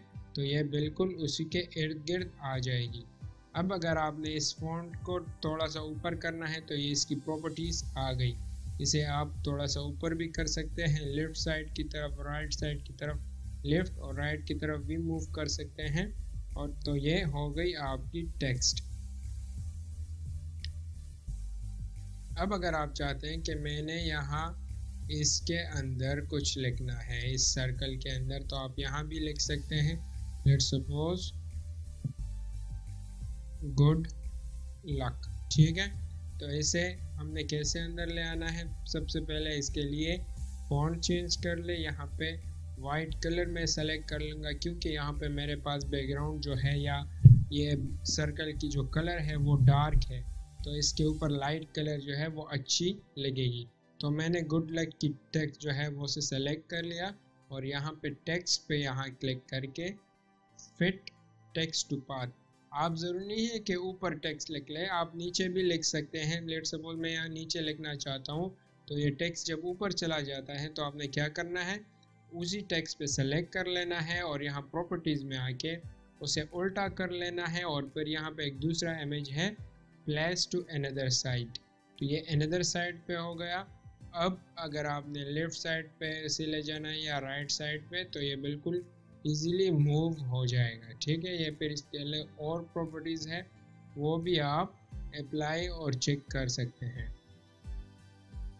तो ये हो गई हमारे साथ टेक्स्ट अब अगर आपने टेक्स्ट को लाइन के ऊपर या एक कर्व के ऊपर लिखना है लेट सपोज़ मैंने एक कर्व के ऊपर टेक्स्ट को लिखना है तो मैं लाइन ड्रॉ कर लूँगा शेप टूल की मदद से उसे कर्व में कन्वर्ट कर लूँगा टू कर्व नीचे ले आ जाता हूँ इसे। नीचे ले आता हूँ और इसे ऊपर कर लेता हूँ, ठीक है? और अब इसके ऊपर टेक्स्ट लिखना है तो क्या कर लूँगा? I am from Pakistan and you वैसे ये टेक्स्ट लिख लिया।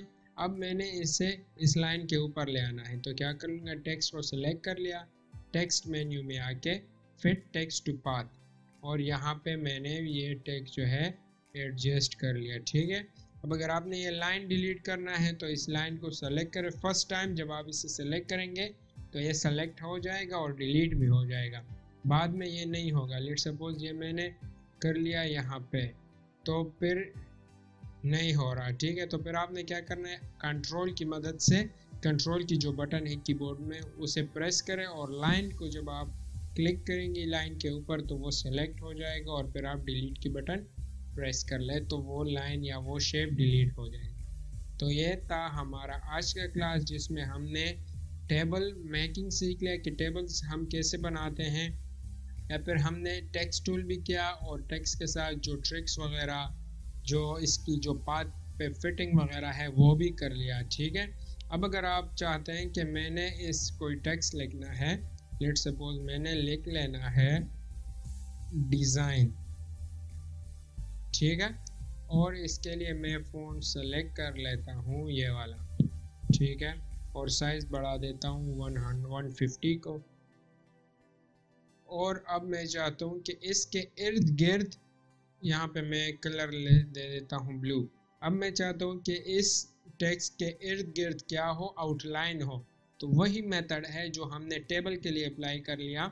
यहाँ टेक्स्ट को सेलेक्ट करें और फिर यहाँ पे आउटलाइन जो टूल है, उसे चूज़ कर ले या उसे सेलेक्ट करें। और यहाँ पे आपने क्या करना है? आउटलाइन की जो विथ है, उस, वो बता देना है। वो डिफाइन कर लेना है। मैं कह देता हूँ कि ट्वेंटी टू चाहिए और राउंडेड वगैरह कर लिए, सब कुछ बिहाइंड फिल ओके अगर आप चाहते हैं कि इसकी जो आउटलाइन विथ है, वो और भी ज़्यादा हो तो आपने यहाँ पे फाइव कर लेना है। तो ये हो गई और भी ज़्यादा। अब अगर आप चाहते हैं कि यहाँ पे इस डिज़ाइन के नीचे थोड़ा सा इस पोजीशन में एक शेडो भी हो तो वो आपने कैसे करना है, इसकी डुप्लीकेट ले लेनी है, ठीक है? कंट्रोल डी तो ये हो गई डुप्लीकेट, और पीछे वाला जो टेक्स्ट रह जाता है या शेप, जो भी है, आप ये हर एक चीज़ के लिए अप्लाई कर सकते हैं। तो यहाँ पीछे वाला जो टेक्स्ट रह जाता है, उसको आप कलर दें ब्लैक और इस टेक्स्ट को फिर इसके ऊपर अरेंज करें, ठीक है? तो यह हो गई एक अलग सी डिज़ाइन की स्टाइल ठीक है? तो आप मुख्तलिफ़ ट्रिक्स वगैरह कर सकते हैं, जितना आप अपने डिज़ाइन के साथ खेलेंगे तो आप कुछ नया सीखेंगे। और ये सब कुछ जो है, ये प्रैक्टिस के बगैर नहीं होता। आपने डेली कम से कम आधा घंटे या एक घंटा इसे देना है। आपने प्रैक्टिस करना है। जितना ज़्यादा आप प्रैक्टिस करेंगे टूल्स पे तो आगे आपको जो टास्क वगैरह और जो असाइनमेंट्स वगैरह दिए जाएँगे, आप उसे अच्छी तरह कर पाएँगे। हमारे पास यहाँ पे आप देखें टेक्स्ट टूल के बिल्कुल नीचे मेरे पास दो टाइप के फिलिंग टूल है। एक इंटरेक्टिव फिल टूल और दूसरा है इंटरेक्टिव मिश फिल टूल इसे हम यूज़ कैसे करेंगे और कब और कैसे यूज़ करेंगे? तो स्टार्ट कर लेते हैं शेप से।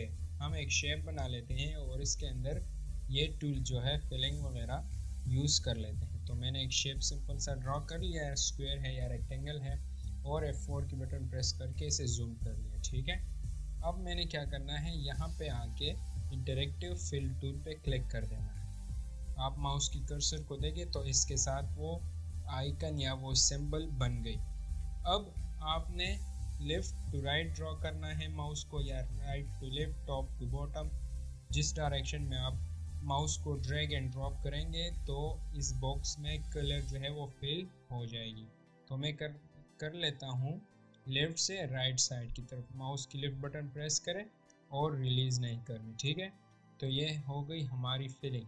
अब अगर आप चाहते हैं कि यहाँ पे वाइट कलर है और यहाँ पर ब्लैक कलर है। ऊपर आप प्रॉपर्टीज़ में देखें, एक ब्लैक और दूसरा है वाइट। तो आपने क्या करना है, आप अगर आप चाहते हैं, अब अगर आप चाहते हैं कि ब्लैक की जगह मैंने डार्क ब्लू यूज़ करना है और वाइट की जगह स्काई ब्लू तो आप कलर्स इसी तरह चेंज कर सकते हैं। अगर आप चाहते हैं कि ये स्टाइल जो है लेफ़्ट से राइट साइड या राइट से लेफ़्ट साइड मीन्स एक साइड पे डार्क कलर और दूसरे साइड पे लाइट कलर या जो जैसे भी हो, एक साइड पे एक कलर दूसरे साइड पे दूसरा कलर अगर आप चाहते हैं कि ये स्टाइल आपको पसंद नहीं है तो आप यहाँ से इसकी स्टाइल जो है वो चेंज भी कर सकते हैं। लेट सपोज़ मैं यहाँ पे रेडियल फाउंटेन फिल कर लेता हूँ तो ये हो गई रेडियल सेंट्रलाइज कलरिंग फिलिंग हो गई। फिर यहाँ पे कॉनिकल तो यहाँ पे एक किस्म की कॉर्नर्स बन जाती हैं, और फिर यहाँ पे स्क्वायर फाउंटेन फिल तो यहाँ पे एक स्क्वायर बनेगी। स्क्वायर की शेप में कलर फिलिंग होगी ठीक है? अब मैं आके वापस पिक टूल सेलेक्ट कर लेता हूँ। तो ये कलर जो है यहाँ पे अप्लाई हो गई। अब मैं वापस इसे इसकी कलर जो है अब मैं वापस ट्रांसपेरेंट या नो कलर फिल कर लेता हूँ। तो इसकी कलर जो है वो ख़त्म हो गई।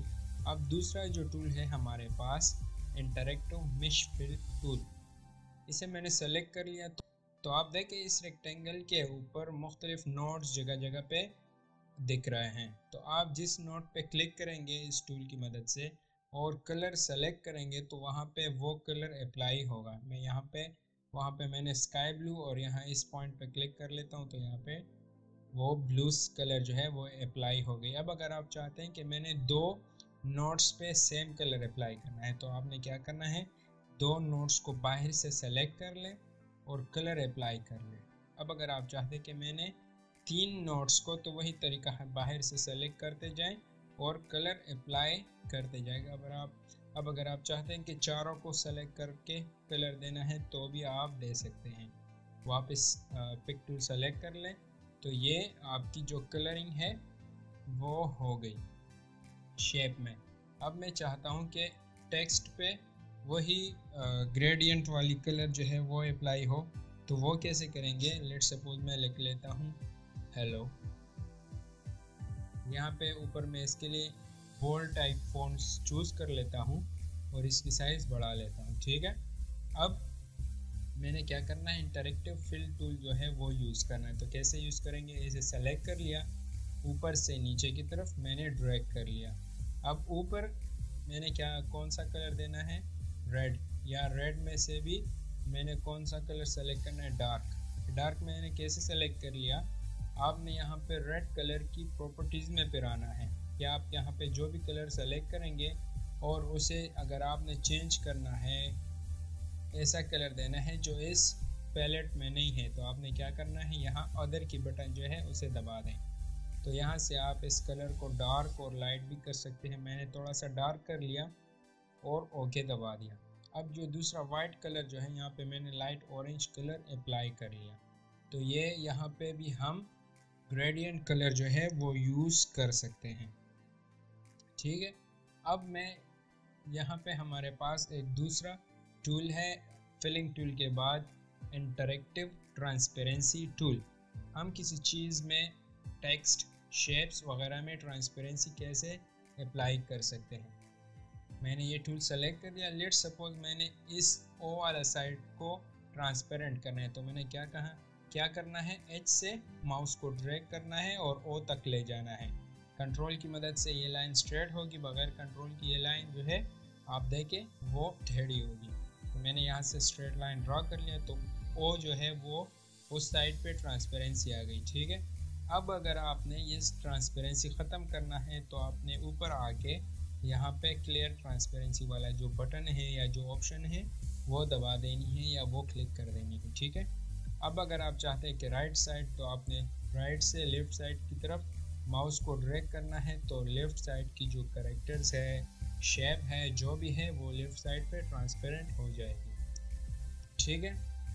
मैं वापस ट्रांसपेरेंसी टूल सेलेक्ट कर लेता हूँ और यहाँ पे क्लियर ट्रांसपेरेंसी क्लिक ले क्लिक कर लेता हूँ। इसी तरह, जैसा कि हमारे पास इंटरेक्टिव फिल टूल था, उसकी दो तीन प्रॉपर्टीज़ थी। इसी तरह ट्रांसपेरेंसी टूल के भी प्रॉपर्टीज़ है। अगर आप चाहते हैं कि यह ट्रांसपेरेंसी स्टाइल जो है, बीच से हो, आप ट्रांसपेरेंट सेंटर से करना चाहते हैं, सिर्फ़ सेंट्रल सेंट्रली ये टेक्स्ट या ये शेप वगैरह ट्रांसपेरेंट हो तो आप यहाँ से ऊपर प्रॉपर्टीज़ में से कर सकते हैं। रेडियल फाउंटेन तो ये सेंट्रली हो गई। कॉनिकल तो ये कॉन कॉर्नर इसमें बन गई और ये हो गई स्क्वायर ठीक है? तो ये थी हमारे पास ट्रांसपेरेंसी टूल अब मैं यहाँ पे एक दूसरी प्रॉपर्टीज़ ट्रांसपेरेंसी की आप लोगों को बताता चलूँ कि हमने और इसे कैसे यूज़ कर सकते हैं। तो यहाँ पे मैंने कलर दे दिया ब्लू और इसको शिफ्ट पेज डाउन की मदद से इस बॉक्स को पीछे कर लिया। अब इस हेलो को मैंने ट्रांसपेरेंट करना है। लेट सपोज़ इसको मैं कलर दे देता हूँ ग्रे टाइप या फिर इसको कलर दे देता हूँ येलो ठीक है? और इस टेक्स्ट को मैंने ट्रांसपेरेंट करना है एज अ होल कि ये H E double L O सारा का सारा ट्रांसपेरेंट हो, इसकी जो कलर है वो ट्रांसपेरेंट हो। तो वो कैसे करेंगे? यहाँ ट्रांसपेरेंसी टूल पे क्लिक कर लें। ऊपर प्रॉपर्टीज़ में आके इसे यूनिफॉर्म कर लें। यूनिफॉर्म की मींस एक जैसा, यकसा तो जब आप यूनिफॉर्म पे क्लिक करेंगे तो सारा का सारा टेक्स्ट जो है या शेप किसी भी चीज़ पे आप अप्लाई करेंगे तो सेम यही मेथड है।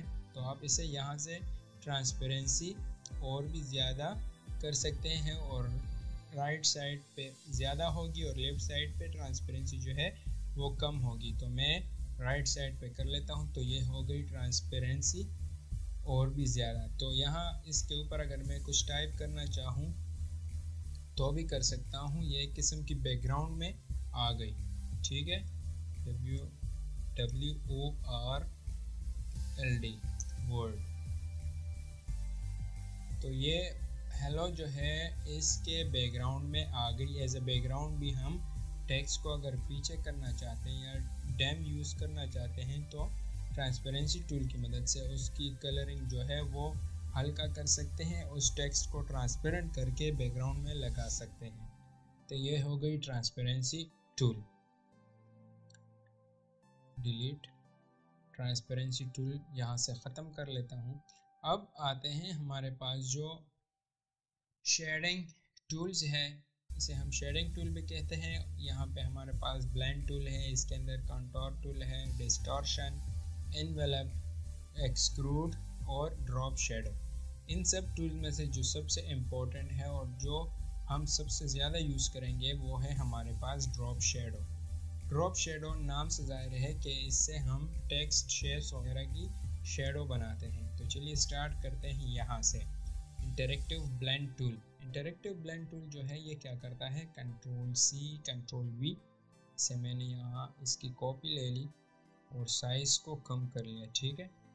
इंटरेक्टिव ब्लेंड टूल से हम क्या करते हैं? इंटरेक्टिव ब्लेंड टूल से हमारे पास कलर्स की जो स्कीम्स है, वो अच्छी तरह दिखती है। लेट सपोज़ मैंने यहाँ से यहाँ ड्रॉ कर लिया तो आप देखें हेलो वहाँ से आ रही है और नीचे की तरफ़ डार्क होते जा रही है। अगर मैं शेप पे ये टूल अप्लाई करूँगा तो आपको और ज़्यादा अच्छा और क्लियर दिखेगा। ठीक है? यहाँ पे मैंने अप्लाई कर लिया लाइट ब्लू और इसको छोटा कर लिया और इसे डार्क ब्लू तो डार्क ब्लू और लाइट ब्लू के बीच जितने कलर्स कम्बिनेशन है या जितने कलर्स आते हैं, वो सब यहाँ पे ड्रा हो जाएँगे। आप देखें डार्क ब्लू फिर इससे थोड़ा सा कम, फिर कम आहिस्ता आहिस्ता यहाँ तक पहुँच जाता है। तो ये है हमारे पास ब्लेंड टूल की जो यूज़ इसे हम किस चीज़ के लिए इस्तेमाल करते हैं, इसे जब आप इसकी जो आउटलाइन है, उसे आप जब ख़त्म करेंगे तो आपको एक नया सा डिज़ाइन दिखने को मिलेगा, जिसके ऊपर आप कुछ लिख भी सकते हैं और अपने डिज़ाइन के कॉर्नर वगैरह में या साइड में भी लगा सकते हैं। फिर है हमारे पास कौन सा टूल इंटरेक्टिव काउंटर टूल इसे हम कैसे यूज़ करेंगे? आपको पता है कि ब्लेंड टूल हमने कैसे यूज़ कर लिया। ब्लेंड टूल जो है, एक दो शेप्स के बीच कलर्स की जो स्कीम है, वो हमें बताती है। तो यहाँ पे इंटरेक्टिव ब्लेंड टूल में इंटरेक्टिव कंट्रोल टूल में क्या है? इसे मैं लेट सपोज़ ब्लू कलर में फिल कर लेता हूँ। तो इसकी जो कलर फिलिंग है, वो हमें यहाँ पे दिखेगी। लेट सपोज़ मैं यहाँ पे ब्लू कर लेता हूँ तो यहाँ डार्क डार्क ब्लू से लाइट ब्लू की तरफ़ शेप के अंदर कलरिंग की स्कीम दिख रही है और ब्लेंड टूल में दो शेप्स के बीच हमें कलरिंग स्कीम जो है वो दिखाई दे रही थी। तो ये हो गई एक अलग सी डिज़ाइन इसके ऊपर आप कुछ लिख भी सकते हैं और कुछ बना भी सकते हैं। फिर है हमारे पास डिस्टॉर्शन टूल डिस्टॉर्शन टूल जो है, जैसे कि नाम से ज़ाहिर है, ख़राब करना डिस्टॉर्ट करना तो इससे हम क्या करते हैं, अपनी शेप को एक अलग सी शेप में चेंज कर सकते हैं। आप देखें, आपने क्या करना है? सिंपली यहाँ सेंटर से या साइड से आप इस पर क्लिक करें और लेफ़्ट या राइट साइड की तरफ़ मूवमेंट दे तो इसकी जो शेप है वो डिस्टॉर्ट होगी। मतलब उसे, उसमें ऑटोमेटिकली कर्व्स बनेंगे और वो एक नया शेप इख्तियार करेगा। तो ये हो गई हमारी डिस्टोर टूल फिर है हमारे पास इन्वेलप टूल आप इस इमेज को देखें तो इससे क्या शो होता है कि इससे हमारी जो शेप है, वो सेंटर से और साइड से क्या होती है, एक इन्वेलप की शेप इख्तियार कर लेती है। ये बिल्कुल हम जब पिछली वीडियो में हम कर रहे थे कि एक शेप को हम उसकी लाइंस को कर्व में कन्वर्ट करते थे और फिर उसे हमने क्या करना था, फिर उसे हम, उससे हम कर्व बनाते थे, मुख्तलिफ़ डिज़ाइंस तो इस टूल की मदद से जब हम कोई शेप बना देते हैं तो इस टूल की मदद से वो ऑटोमेटिकली कर्व में कन्वर्ट हो जाती है और हम उससे या उस शेप से कुछ और भी बना सकते हैं। ठीक है, ये तो ये हो गई इन्वेलप टूल अब है हमारे पास ड्रॉप शेडो टूल तो ड्रॉप शेडो टूल जो है, मैं करेक्टर पे या टेक्स्ट पे अप्लाई कर लेता हूँ। लेट सपोज़ मैंने लिख लिया हेलो ठीक है? ये वाला फ़ॉन्ट सेलेक्ट कर लिया। और बैकग्राउंड के लिए या इसकी बैक के लिए मैं चूज़ कर लेता हूँ येलो कलर और शिफ्ट पेज डाउन की मदद से मैं इस बॉक्स को पीछे कर लेता हूँ, ठीक है? तो इस टेक्स्ट के पीछे मैंने क्या करना है? एक शेडो ड्रॉ करनी है तो इस टेक्स्ट को मैं कौन सा कलर दूँगा? ये वाइट ताकि मेरी जो शेडो है वो क्लियर दिखे। और यहाँ पे आके शेडो की जो टूल है, उस पर क्लिक कर लूँगा, उसे सेलेक्ट कर लूँगा। जब आप सेंटर से राइट साइड की तरफ़ माउस को मूवमेंट देंगे तो ये शेडो जो है राइट साइड की तरफ़ बनेगी।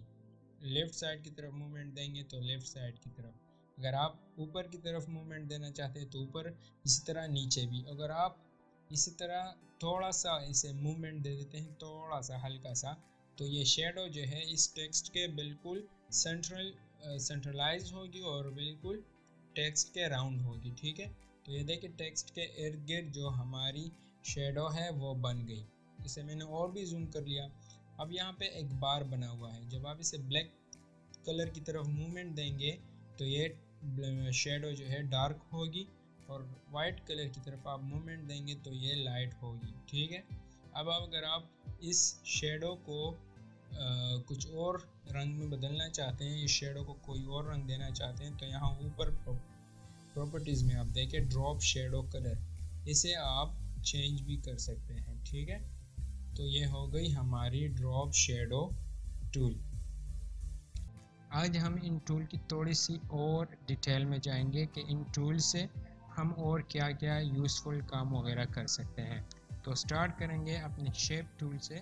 कि हम एक शेप टूल बनाएँ यहाँ पे, एक छोटी सी शेप ठीक है? स्पेस कंट्रोल और स्पेस की बटन जब आप दबाएँगे तो पिक टूल खुद ही सेलेक्ट हो जाएगा। जब आपने दोबारा यही शेप यूज़ करना है तो आपने दोबारा स्पेस की बटन दबा देनी है।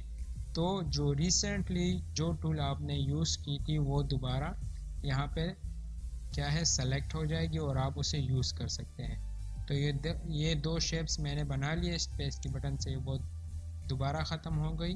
वो शेप टूल और मैंने कौन सा टूल सेलेक्ट कर लिया? पिक टूल ठीक है? अब मैंने क्या करना है? यहाँ से ब्लेंड टूल अप्लाई करना है। ऊपर से नीचे और नीचे से ऊपर। ये कोई फ़र्क नहीं पड़ता इससे। ये टूल मैंने यूज़ कर लिया स्पेस की मदद से। वापस मैं क्या, कहाँ पे आ गया? पिक टूल की तरफ़। तो पहला वाला जो शेप है, इसे सेलेक्ट करके ऑरेंज कलर में फिल कर लिया और पीछे वाला जो लास्ट शेप है, उसे मैंने लाइट कलर दे दी ठीक है? तो इससे एक ब्लेंडिंग इफ़ेक्ट इसमें यह आ गई कि एक कलर की जो ट्रांसमिशन है लाइट से डार्क की तरफ़ या डार्क से लाइट की तरफ़, वो आपको दिख रही है और एक अच्छा डिज़ाइन वगैरह बन गया है। आप इससे आउटलाइन राइट की बटन से माउस की जो राइट बटन है, उससे आउटलाइन जो है, वो ख़त्म भी कर सकते हैं।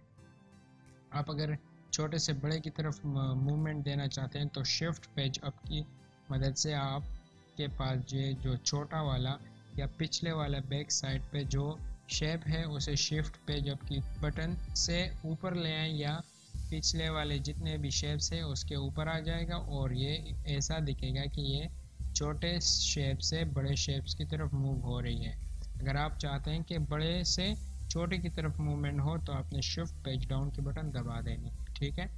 अब मैं दो डिफरेंट शेप बना देता हूँ। यहाँ पे मैं बना देता हूँ सर्कल स्क्वायर और यहाँ पे नीचे मैं बना देता हूँ सर्कल ठीक है? अब यहाँ से यहाँ तक कंट्रोल इफ़ेक्ट हमें चाहिए ब्लेंड इफ़ेक्ट अब यहाँ सर्कल से स्क्वायर तक हमें ब्लेंडिंग इफ़ेक्ट चाहिए तो मैंने यहाँ पे ब्लेंड टूल सेलेक्ट करके वहाँ तक ड्रॉ कर लिया, ठीक है?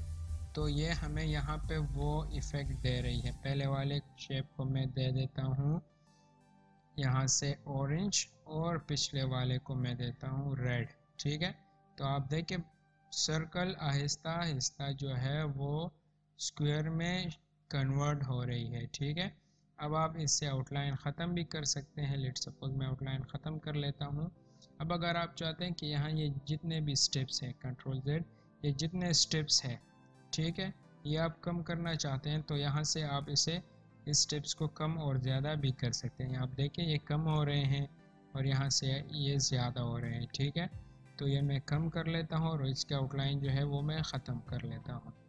तो ये एक अच्छी और अलग इफ़ेक्ट यहाँ पे आपको देखने को मिलेगी, ठीक है? अब मैं एक और शेप ड्रॉ कर लेता हूँ यहाँ फ्री हैंड टूल से।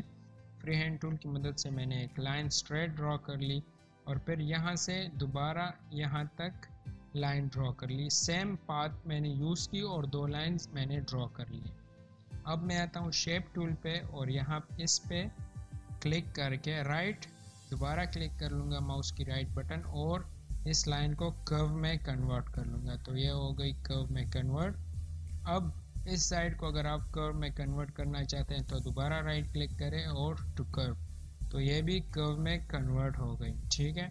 एक मेथड ये है। दूसरा मेथड कौन सा है कि आप इससे कॉपी ले कंट्रोल सी कंट्रोल बी ये इसकी कॉपी हो गई और इसे क्या करें? यहाँ ऊपर आप देखें, यहाँ पे मेरे पास दो बटन्स हैं वर्टिकली और हॉरिजेंटली मिरर और ये है मिरर बटन मतलब इससे हम साइड बाय साइड मिररिंग करते हैं और नीचे वाले से वर्टिकली एक किस्म की करते हैं। तो मैंने साइड वाली दबा दी तो इसकी मिरर बन गई और इसे मैंने यहाँ से कंट्रोल की मदद पे मूव कर लिया, ठीक है? तो ये हमारे पास ऐसा भी हम इसे यूज़ कर सकते हैं। अब तीसरी मेथड कौन सी है कि मैं यहाँ पे क्या करूँ? इसकी कंट्रोल सी कंट्रोल भी कॉपी ले ली और इस वाली बॉक्स से मैं इसे सेलेक्ट करूँ। साथ में कंट्रोल बटन प्रेस करके इसे लेफ़्ट साइड की तरफ़ मूवमेंट दूँ माउस को। तो इसकी जो कॉपी है वो बिल्कुल एग्जैक्ट उसी लाइन पे कॉपी हो जाएगी और पेस्ट भी हो जाएगी, ठीक है? और अब इन दोनों को सेलेक्ट करें और इसको वेल्ड कर ले। ताकि ये दोनों वेल्ड हो तो बीच से ये लाइन भी ख़त्म हो जाएगी। तो यहाँ से मैंने इसे वेल्ड कर लिया और थोड़ा सा ऊपर से इसे कम कर लिया। अब क्या करना है? अब इस लीफ को मैंने रोटेट करना है। ठीक है? आप सेंटर में देखें तो आपको एक सर्कल दिख रहा है। इस सर्कल की मदद से ये लीफ जो है या ये पत्ता जो है रोटेशन कर रही है। ये इसकी रोटेटिंग पॉइंट है। मैं चाहता हूँ कि इसकी ये रोटेटिंग पॉइंट नीचे की तरफ़ हो। ठीक है? तो मैं यहाँ से इसे रोटेट करूँगा तो ये नीचे की तरफ़ आएगा। अब मैं इसकी एक और कॉपी ले लेता हूँ कंट्रोल सी और कंट्रोल वी उसी तरह कंट्रोल की बटन प्रेस करके इसे दूसरी तरफ़ कर लिया, ठीक है? अब शिफ्ट अब सिर्फ़ F4 के बटन से इसे जूम आउट कर लिया और अब दोनों को सेलेक्ट करके इसे ग्रुप करके नीचे ले आया कंट्रोल सी कंट्रोल वी इसकी एक और कॉपी ले ली और ऊपर करके इसकी साइज़ जो है वो कम कर लिया ठीक है? इसे मैं कलर देता हूँ डार्क ग्रीन और ऊपर कलर दे देता हूँ लाइट ग्रीन अब यहाँ से ऊपर की तरफ़ या ऊपर से नीचे की तरफ़ मैंने क्या करना है? ब्लेंड इफ़ेक्ट अप्लाई करना है। तो ये यहाँ पे ब्लेंडिंग इफ़ेक्ट जो है वो अप्लाई हो रही है। ठीक है? अब मैं इसकी शेप जो है ये बहुत क्लोज है एक दूसरे के। तो मैं थोड़ा सा इसमें स्पेस बना दूँगा और इसे थोड़ा सा इसकी जो साइज़ इसकी जो शेप है या इसकी जो स्टाइल है, ये थोड़ा सा स्लीप या स्लीप को मैंने थोड़ा सा ऊपर कर लिया, ठीक है? अब क्या करना है? अब दोबारा इसको थोड़ा छोटा कर लेंगे इसकी size control C control V और ऊपर की तरफ़ ले आके, ऊपर की तरफ़ कंट्रोल की मदद से ले आके और साइज़ छोटा कर लेंगे ठीक है? अब क्या करना है? अब ब्लेंडिंग इफ़ेक्ट जो है वो अप्लाई करना है। तो यहाँ से मैं अप्लाई कर लूँगा इस पॉइंट पर, ठीक है? तो ये हो गई अप्लाई अब क्या करना है? यहाँ से जो स्टेप्स है वो मैंने कम कर लिए। और अब मैं क्या करूँगा? अब मैं एक लाइन ड्रॉ करके इस शेप्स को मैं उसी लाइन पे फिट कर लूँगा। जैसे कि हम टेक्स्ट टूल में लाइन टेक्स्ट को लाइन के ऊपर फिट करते थे इसी तरह हम शेप्स को भी ब्लेंडिंग इफ़ेक्ट में लाइन के ऊपर फिट कर सकते हैं। ठीक है तो ये वाले शेप्स जो है, ये मैं डिलीट कर लूँगा ताकि स्क्रीन जो है हमारे पास क्लियर हो। अब मैं क्या कर लूँगा? अब मैं यहाँ पे एक लाइन ड्रॉ कर लूँगा। ठीक है कंट्रोल की मदद से स्ट्रेट लाइन और शेप टूल की मदद से मैं इसे कर्व में कन्वर्ट कर लूँगा। तो ये हो गई कर्व ठीक है? अब मैं क्या करूँगा? अब इस टेक्स्ट को सेलेक्ट अब इस शेप को सेलेक्ट कर लूँगा या इस डिज़ाइन को और आप ऊपर देखें तो यहाँ पे एक कर्व लाइन बनी हुई है पाथ प्रॉपर्टीज़ तो इस पर जब मैं क्लिक करूँगा तो यहाँ पे इस ब्लेंडिंग स्टाइल को पाथ और यहाँ पे ये एरो इस लाइन के ऊपर लाकर क्लिक करें। तो ये शेप जो है, ये ब्लेंडिंग शेप जो है, ये उस लाइन पे, उस पाथ पे खुद ही एडजस्ट हो जाएँगे। अब जो इसमें थोड़ी बहुत क्या है करेक्शंस हैं, वो हम कर लेंगे। लेट सपोज़ इस वाले लास्ट वाले पे मैंने क्लिक कर लिया और इसे मैं क्या कर लूँगा? रोटेट कर लूँगा, सीधा कर लूँगा, जैसे इसे होना चाहिए। ठीक है? हम दोबारा क्लिक करके इसे इसी पॉइंट पे ला खड़ा कर ठीक है? थोड़ा सा और रोटेट कर लेंगे।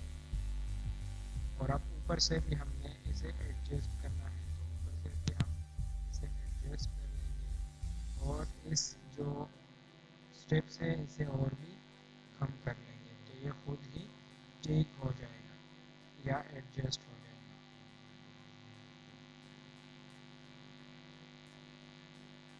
अब मैंने सेंटर वाली जो लाइन है, इसे थोड़ा सा आउटलाइन देना है तो यहाँ पे आउटलाइन टूल पे क्लिक करें और यहाँ से इसे थ्री फोर जितनी आपकी मर्ज़ी रिक्वायरमेंट के मुताबिक आप इसे आउटलाइन दें बिहाइंड फिल करें और राउंडेड एजेस और साइड्स कॉर्नर वगैरह दें।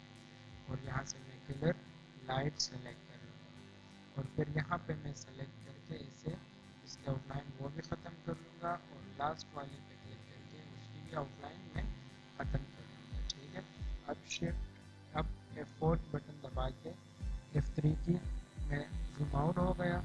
अब कर अब मैं क्या करूँगा? अब सारे शेप को सेलेक्ट करके मैं इसे ग्रुप में कन्वर्ट कर लूँगा और दोबारा क्लिक करके इसे थोड़ा सा रोटेट कर लूँगा। थोड़ा सा रोटेट कर लिया। अब फिर क्या करना है? कंट्रोल सी कंट्रोल वी की कॉपी और कंट्रोल की मदद से इसे मिरर में कन्वर्ट कर दिया। तो आप देखें तो आप देखें ये एक अच्छी शेप से या अच्छी किस्म की लोगो टाइप से एक अच्छी लोगो में कन्वर्ट हो गई बीच में आप टेक्स्ट वगैरह लिखना चाहते हैं, आपकी मर्ज़ी जो लिखना पसंद हो, आपको वो लिख सकते हैं, ठीक है?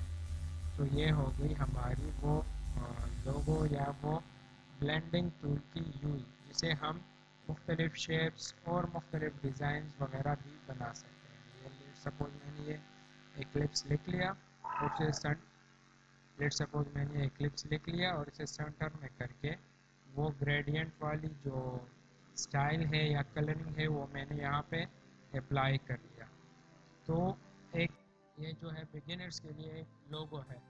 जितना ज़्यादा बिगिनर्स और जो सीख रहे हैं ये टूल्स या इस टूल के बारे में किसी को इलम नहीं है या वो नहीं जानते, जितना ज़्यादा वो ये यूज़ करेंगे तो उसे उतना ही ज़्यादा इसकी समझ आएगी। ठीक है, अगर इसके अलावा आप लोगों को कुछ इसमें न्यू ट्रिक या न्यू डिज़ाइन वगैरह बनाना आता हो या आपने सीख लिया तो काइंडली नीचे डिस्क्रिप्शन में जो ग्रुप है व्हाट्सएप ग्रुप उस पर आप शेयर भी कर सकते हैं।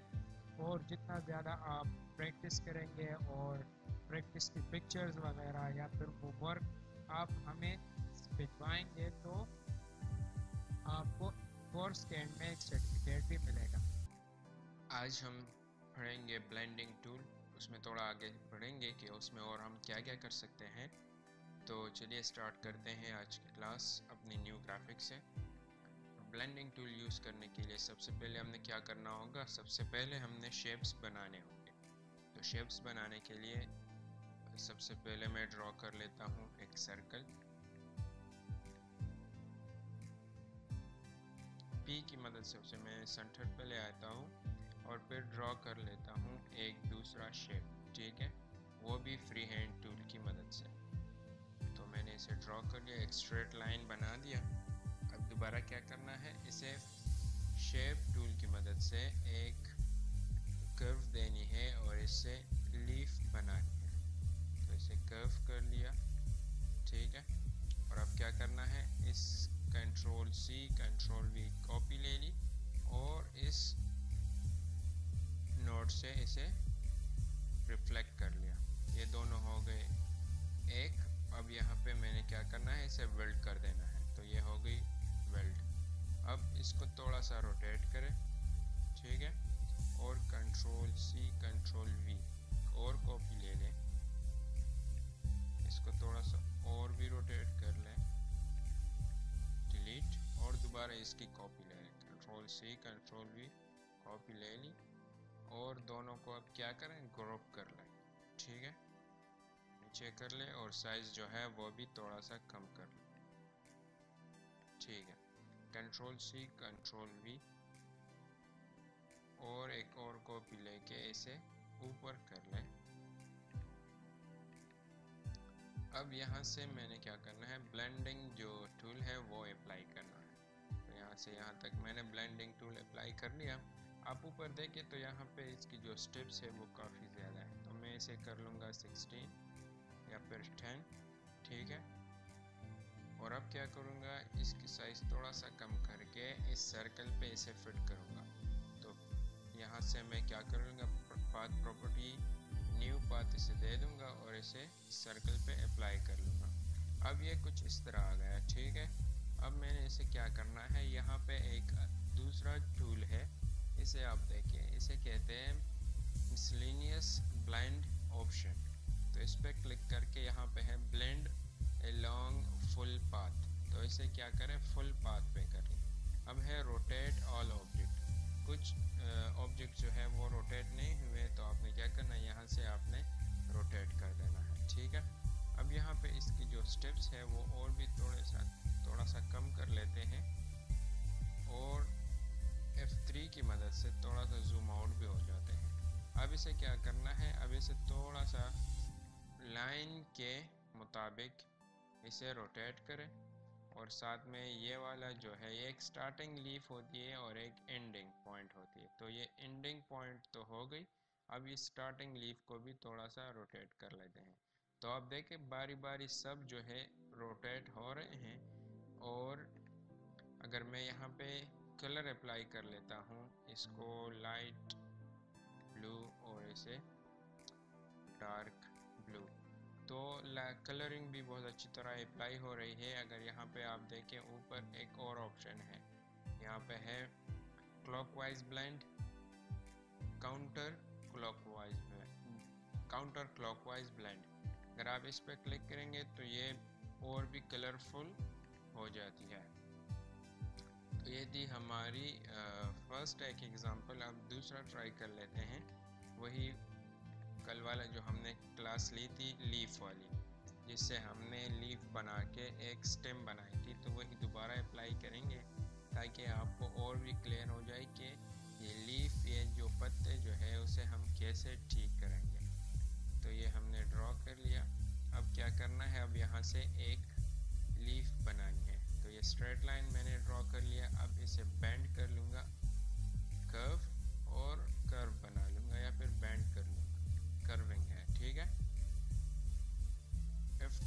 मदद से इसे जूम कर लिया और अब इसकी कॉपी लेके कंट्रोल सी कंट्रोल वी और डुप्लीकेट या मिरर कर लेंगे, ठीक है? इसे ग्रुप कर लें कंट्रोल जी या कंट्रोल जी ना करें, यहाँ पे ऊपर देखे विल्ड ऑप्शन है। तो इसे विल्ड कर ले और डबल क्लिक करके इसे रोटेट कर ले, ठीक है? अब इसकी कॉपी लेके कंट्रोल सी कंट्रोल वी और राइट साइड पे इसकी मिरर बना लें। कंट्रोल जी दोनों को ग्रुप कर ले, नीचे ले आए साइज़ को थोड़ा कम कर लें, और ऊपर यहाँ पे आपने क्या करना है, इसके एक और कॉपी माउस की राइट बटन से ले लें। माउस की राइट बटन जब आप एक शेप या टेक्स्ट वगैरह जिस चीज़ पे आप क्लिक करेंगे और दूसरी जगह ड्रैग करके माउस की लेफ़्ट बटन जो है उसे रिलीज़ नहीं करनी और आपने राइट बटन प्रेस कर लिया माउस की राइट बटन क्लिक कर लिया तो उसकी जो कॉपी है वो आपके साथ बनेगी, ठीक है? अब यहाँ पे ब्लेंडिंग ऑप्शन अप्लाई करना है ब्लेंडिंग टूल अप्लाई करना है तो क्या कर लेंगे, वही मेथड है। ब्लेंडिंग टूल जो है उसे उसे सेलेक्ट करें और नीचे वाले से ऊपर की तरफ़ या ऊपर वाले से नीचे की तरफ़ आपने ड्रॉ कर देना है। अब क्या करना है? इसे भी थोड़ा सा कम कर लेते हैं और इसे न्यू पाथ दे देते हैं यहाँ से। सॉरी इसे न्यू पाथ दे देते हैं यहाँ से। ठीक है? और अब इसे क्या करना है? इसे फिट करना है। तो कैसे फिट करेंगे? यहाँ पे मिसलिनियस ब्लेंड टूल पे belong blend along full path और यहाँ पे है रोटेट ऑल ऑब्जेक्ट तो रोटेशन भी हो गई। अब हम क्या करेंगे? स्टार्ट वाले और एंड वाले जो लीव है या जो ऑब्जेक्ट्स है, उसे अरेंज कर लेंगे तो बाकी खुद ही अरेंज होते जाएँगे। दोनों को मैंने क्लिक कर लिया और इसे थोड़ा सा और भी रोटेट कर लेंगे। तो आप देखें, बिल्कुल एक सीरीज़ के मुताबिक एक अच्छी शेप में ये रोटेट हो रहे हैं। साइज़ इसकी जो है वो और भी कम कर लेंगे, ये स्टेप्स स्टेप्स और भी कम कर लेंगे तो ये और भी क्लियर हो जाएगा। अब इसे, इस लास्ट वाली लीफ को जो है और भी रोटेट कर लेंगे तो ये बाकी जो है वो भी ठीक हो जाएँगे। अब इसे क्या करना है? इसे कलर अप्लाई करना है। तो यहाँ से मैं कर लूँगा लाइट ग्रीन क्योंकि जो टॉप है वो लाइट होती है अक्सर। इसे मैं कर लूँगा लाइट ग्रीन और नीचे वाले को क्या, कौन सा कलर अप्लाई कर लूँगा? इसे डार्क ग्रीन तो ये एक लीफ बन गई अब क्या करना है? यहाँ पे नीचे जो स्टेम है, उस पर क्लिक करके उसे थ्री आउटलाइन दे दे।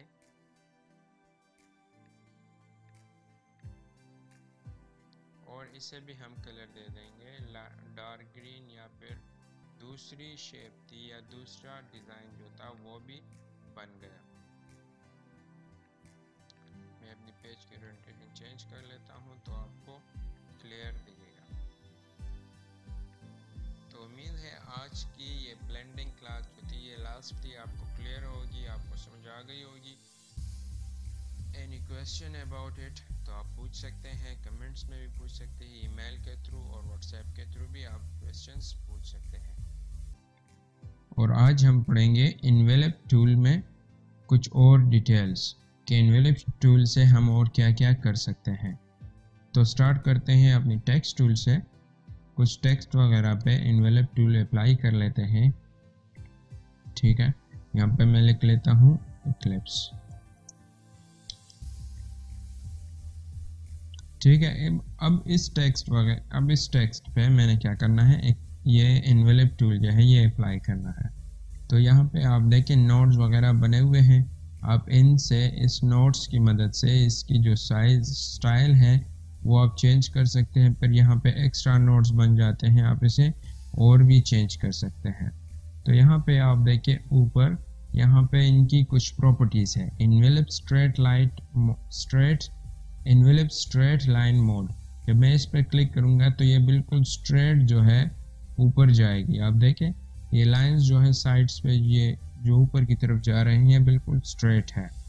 अब दूसरी प्रॉपर्टी जो इसकी है, वो है इन्वेलप सिंगल आर्क मोड यहाँ पे हम एक सिंगल आर्क की शेप भी ट्राई कर लेते हैं। तो सिंगल आर्क आप देखें सिंगल आर्क बन जाती है, बन रही है। तो आप यहाँ पे एक सिंगल आर्क भी बना सकते हैं। मतलब आप जिस साइड से भी इस नोट को मूवमेंट देंगे, ऊपर की तरफ़, नीचे की तरफ़ तो यहाँ पे एक सिंगल आर्क बनेगी, ठीक है? फिर है इसके अलावा हमारे पास जो तीसरा ऑप्शन है या जो तीसरा तीसरी प्रॉपर्टी है वो है इन्वेलिप डबल आर्क मोड यहाँ पे सिंगल आर्क सिर्फ़ नीचे की तरफ़ आ, वो एक लाइन जो है वो नीचे की तरफ़ उसे हम ला सकते थे या फिर ऊपर की तरफ़ लेफ़्ट राइट वगैरह। यहाँ पे फिर हमारे पास एक तीसरी प्रॉपर्टी जो है वो है डबल आर्क इससे आप क्या कर सकते हैं इससे आप ऊपर भी ले आ सकते हैं, यहाँ से आप नीचे भी ले आ सकते हैं। तो आप देखें, एक लाइन है यहाँ पे नीचे और वहाँ पे ऊपर चली गई है। तो इसी तरह आप यहाँ पे डबल आर्क वगैरह की प्रॉपर्टी जो है, वो भी अप्लाई कर सकते हैं। फिर है हमारे पास यहाँ पे कौन सी टूल इनवेलप अनकंस्ट्रेंट मोड ये टूल जो है, ये आपकी मर्ज़ी के मुताबिक है। आप जिस तरफ़ या जिस साइड पे, जिस एंगल पे अपने टेक्स्ट वगैरह को मूवमेंट देना चाहते हैं, उसे कंप्रेस करना चाहते हैं या जो भी स्टाइल आप इस पे अप्लाई करना चाहते हैं तो आप अप्लाई कर सकते हैं। लेट्स अप तो आप देखें जब मैंने यहाँ पे क्लिक कर लिया तो यहाँ पे मेरे पास छोटे छोटे और नोट्स भी बन जाते हैं। तो मैं इसकी मदद से भी अपनी शेप की जो स्टाइल है, वो चेंज कर सकता हूँ। यहाँ पे आप देखें यहाँ पे चेंज कर लिया, फिर यहाँ से इस साइड पे चेंज कर लिया। यहाँ से भी मैं, मैन जो नोड्स है, उससे भी मैं चेंज कर सकता हूँ। तो ये जो है, ये बिल्कुल शेप टूल की तरह है। यहाँ पे हमारे पास जो दूसरा टूल है, उसी तरह है, जिसकी मदद से हम अपनी लाइंस को या शेप्स को मुख्तलिफ़ किस्म के स्टाइल्स वगैरह में चेंज कर सकते थे और मुख्तलिफ़ किस्म के कर्व्स वगैरह भी बना सकते थे। फिर है हमारे पास यहाँ पे रेडीमेड कुछ स्टाइल्स और कुछ शेप्स जिसे भी जिसे हम अपने टेक्स्ट वगैरह पे अप्लाई कर सकते हैं। लेट सपोज़ मैं ये अप्लाई करना चाहता हूँ तो हमारा टेक्स्ट जो है वही स्टाइल अप्लाई कर लेता है। फिर है यहाँ पे हमारे पास ये आ, क्या है वाटर की जो ड्रॉप है उस शेप में है तो वो भी अप्लाई कर सकते हैं। यहाँ पे फिर है ये शील टाइप तो हर एक टाइप जो है, हर एक स्टाइल जो है, यहाँ पे अप्लाई आप कर सकते हैं। इसी तरह हम इस टूल को शेप्स वगैरह पे भी ट्राई कर लेते हैं, उस पर अप्लाई करना चाहते हैं तो कैसे करेंगे? लेट सपोज़ मैंने ये शेप ड्रॉ कर लिया, उसे मैंने ब्लू कलर भी अप्लाई की। अब यहाँ पे मैं वापस इन्वेलप टूल सेलेक्ट कर लेता हूँ तो वही प्रोसेस है, वही मेथड है। स्ट्रेट लाइन में हम इसे मूवमेंट दे सकते हैं। ठीक है? आप देख सकते हैं। और फिर हमारे पास ये दूसरा जो ऑप्शन है सिंगल आर्क मोड तो इसे भी आप अप्लाई कर सकते हैं। सिंगल आर्क यहाँ पे एक सिंगल आर्क बन जाती है। ठीक है? फिर है हमारे पास डबल आर्क तो इसे भी आप यहाँ से, यहाँ कहीं जगह से भी अप्लाई कर सकते हैं। आप देखें, ये डबल आर्क हो गई। एक कर्व यहाँ पे, एक कर्व वहाँ पे। आप इसे और भी कम और ज़्यादा कर सकते हैं तो ये हो गई डबल आर्क ठीक है? अब इसके अलावा यहाँ पे जो तीसरा, चौथा ऑप्शन है हमारे पास अनकंस्ट्रेंट मोड ये बिल्कुल शेप टूल की तरह है वैसे ही एक आइकन या सिंबल भी वही बनी हुई है।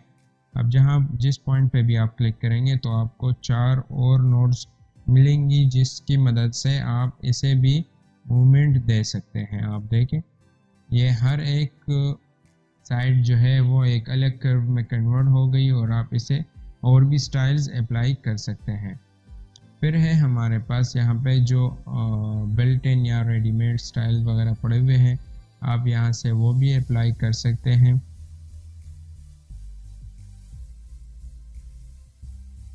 ठीक है, आपको समझ आ गया होगा कि ये मुख्तलिफ़ किस्म के टूल्स हैं। आप इसे यूज़ करना चाहते हैं किसी डिज़ाइन में या किसी जगह पे तो बिल्कुल आप यूज़ कर सकते हैं।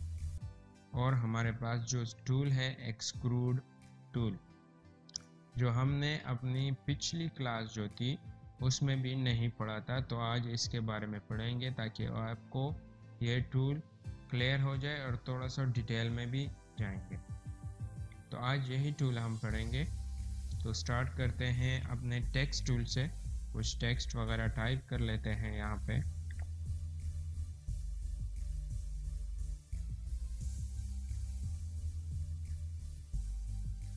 टेक्स्ट टाइप करने के बाद मैं यहाँ से इसके लिए एक फॉन्ट सेलेक्ट कर लेता हूँ और साइज़ जो है वो थोड़ा सा बढ़ा लेता हूँ, ठीक है? अब क्या करना है? अब इसके ऊपर मैंने एक्सक्रूड टूल जो है वो अप्लाई करना है। तो यहाँ पे मैं आके एक्सक्रूड टूल पे क्लिक कर लूँगा और इसे जब पीछे की तरफ़ या लेफ़्ट राइट की तरफ़ मूवमेंट दूँगा तो ऐसी एक शेडो टाइप आपको मिलेगी। तो आपने क्या करना है? यहाँ ऊपर प्रॉपर्टीज़ में आप देखें आपको तीन किस्म के ऑप्शंस दिख रहे हैं। एक है कलर दूसरा है बेवल और तीसरा है लाइटिंग तो आपने क्या करना है? कलर में आके यहाँ पे जो तीसरा ऑप्शन है यूज़ कलर शेडिंग तो वो वाला क्लिक कर देना है। यहाँ पे आपने क्या करना है? फ्रॉम कौन सा कलर स्टार्ट होगा? ये ब्लू वाला। टू कौन से कलर तक जाना है? इस लाइट ब्लू की तरफ़।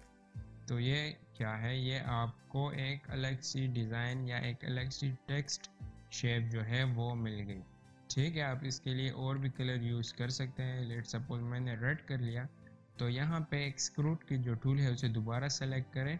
कलर्स में आके रेड की जगह आप येलो भी अप्लाई कर सकते हैं। येलो की जगह आप पिंक वगैरह, जो भी कलर आपको अच्छा लगे और जिसकी कम्बिनेशन अच्छी हो तो आप वो ट्राई कर सकते हैं, उसे अप्लाई कर सकते हैं।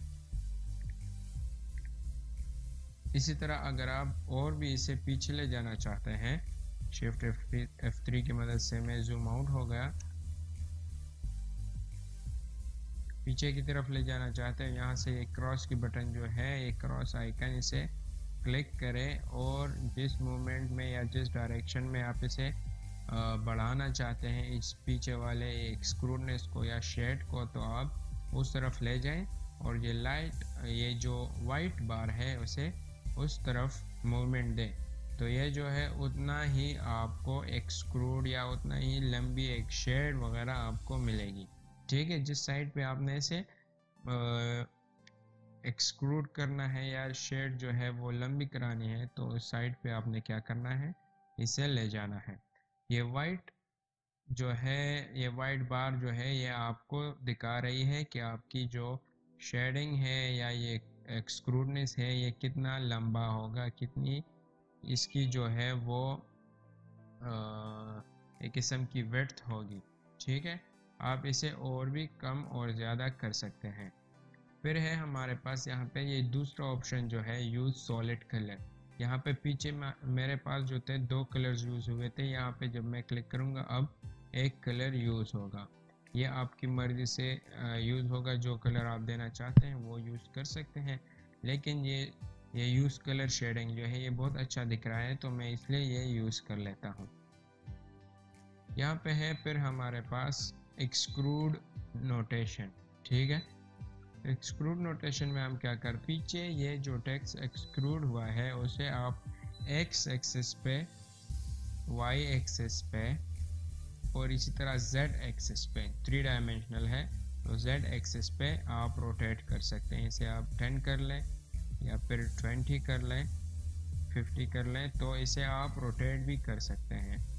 तो ये है इसकी एक्सक्रूडनेस इसे आप थोड़ा सा कम करें, ये एक्सक्रूड लेवल को। तो आपको और भी क्लियर हो जाएगा। तो इसकी एक्सक्रूडनेस लेवल जो है, वो मैं यहाँ इस बार से कम और ज़्यादा भी कर सकता हूँ, कम कर लेते हैं। तो ये जो है, इसकी जो शेप है या इसकी जो लुक है, वो और भी अच्छी दिखेगी आप लोगों को। तो ये थी हमारे पास टेक्स्ट टूल पे एक्सक्रूड इफ़ेक्ट अब मैं इस एक्सक्रूड इफ़ेक्ट को ट्राई कर लेता हूँ यहाँ पे शेप टूल पे। तो यहाँ से मैं ड्रॉ कर लेता हूँ पीछे की तरफ़। ठीक है? अब मैंने क्या करना है? अब मैंने यहाँ पे कलर स्कीम में आके शेडिंग कलर जो है वो अप्लाई कर देनी है। और टॉप वाले को मैं कलर दे देता हूँ रेड या फिर येलो जो आपको अच्छा लगे, वही कलर आप अप्लाई कर सकते हैं।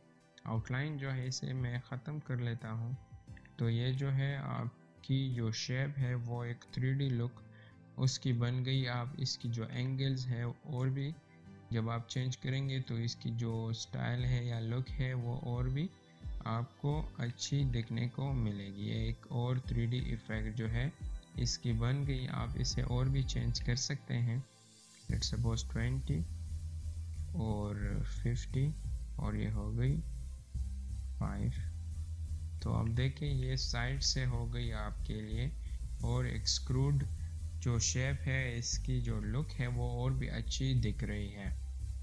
तो ये हमने शेप पे अप्लाई कर लिया स्क्वायर पे। इसी तरह आप इसे सर्कल वगैरह पे भी, किसी भी शेप्स पे, किसी भी टेक्स्ट पे अप्लाई कर सकते हैं। यहाँ पे मैं कलर दे देता हूँ ग्रीन और फिर यहाँ पे शेडिंग इफ़ेक्ट में आके लाइट ग्रीन और यहाँ पे डार्क ग्रीन अप्लाई कर लूँगा। तो इस सर्कल से मैं तो इस सर्कल की भी एक थ्री या एक कौन सी इफ़ेक्ट एक्सक्रूड इफ़ेक्ट आपको देखने को मिलेगी। तो ये थी हमारी एक्सक्रूड टूल जिसकी मदद से हम टेक्स्ट और शेप्स वगैरह को पीछे की तरफ़ से थोड़ा सा खींचते हैं, जिसे हम एक्सक्रूड इफ़ेक्ट भी कहते हैं या एक्सक्रूड भी कहते हैं। तो उम्मीद है आज की क्लास आप लोगों को समझ आ गई होगी। अगर इसके मतलब आपके जहन में कुछ सवाल हैं या कोई क्वेश्चन है तो आप बिल्कुल कमेंट्स में भी पूछ सकते हैं और व्हाट्सएप ग्रुप के ज़रिए और ईमेल एड्रेस के ज़रिए भी आप पूछ सकते हैं। जो टूल्स हम पहले शुरू कर लिए थे बारी बारी एक एक कर रहे थे तो आज उन सब टूल्स को एक साथ करेंगे और उसमें कुछ और और कुछ अलग करेंगे। तो स्टार्ट करते हैं टेक्स्ट टूल से। कुछ टेक्स्ट वगैरह पे इफ़ेक्ट अप्लाई करनी है ब्लेंडिंग टूल वाली और मुख्तलिफ़ किस्म इफ़ेक्ट्स तो टेक्स्ट टूल मैंने सेलेक्ट करके यहाँ पे क्लिक कर लिया। और यहाँ पे मैंने टाइप कर लिया टेक्स्ट इसके लिए फ़ॉन्ट यहाँ से सेलेक्ट कर लेते हैं। कुछ अलग और मज़ेदार किस्म के। ये फ़ॉन्ट मैंने सेलेक्ट करके इसकी साइज़ बढ़ा दी और F4 की मदद से इसे जूम कर लिया, ठीक है?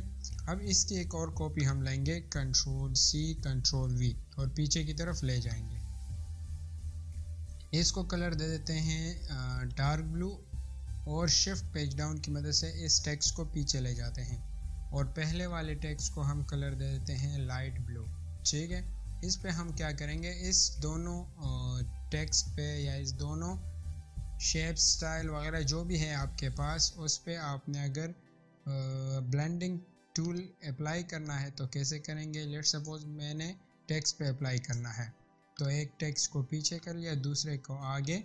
उसी तरह जो हम शेप्स वगैरह पे अप्लाई कर रहे थे, वही सेम मेथड है। ब्लेंडिंग टूल सेलेक्ट करके इसको यहाँ से, यहाँ तक ड्रैग एंड ड्रॉप कर लिया तो आप देखें टेक्स्ट की एक यूनिक और अलग किस्म की स्टाइल बन गई हमारे पास। तो ये थी हमारी ब्लेंडिंग टूल टेक्स्ट पे। इसके अलावा हमने इस टूल को शेप वगैरह पे भी अप्लाई की है। तो टेक्स्ट वगैरह पे हमने अप्लाई नहीं की तो आज वो भी आपको क्लियर हो गई और इसकी जो स्टाइल है या जो इफ़ेक्ट है, वो एक थ्री लुक हमें दे रही है।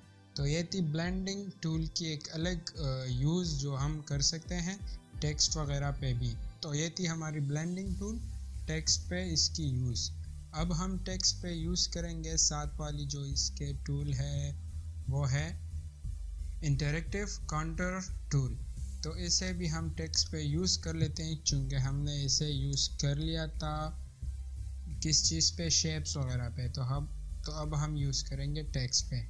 साइज़ इसकी बढ़ा लेते हैं और हम क्या करेंगे? F4 की मदद से जूम कर लेते हैं।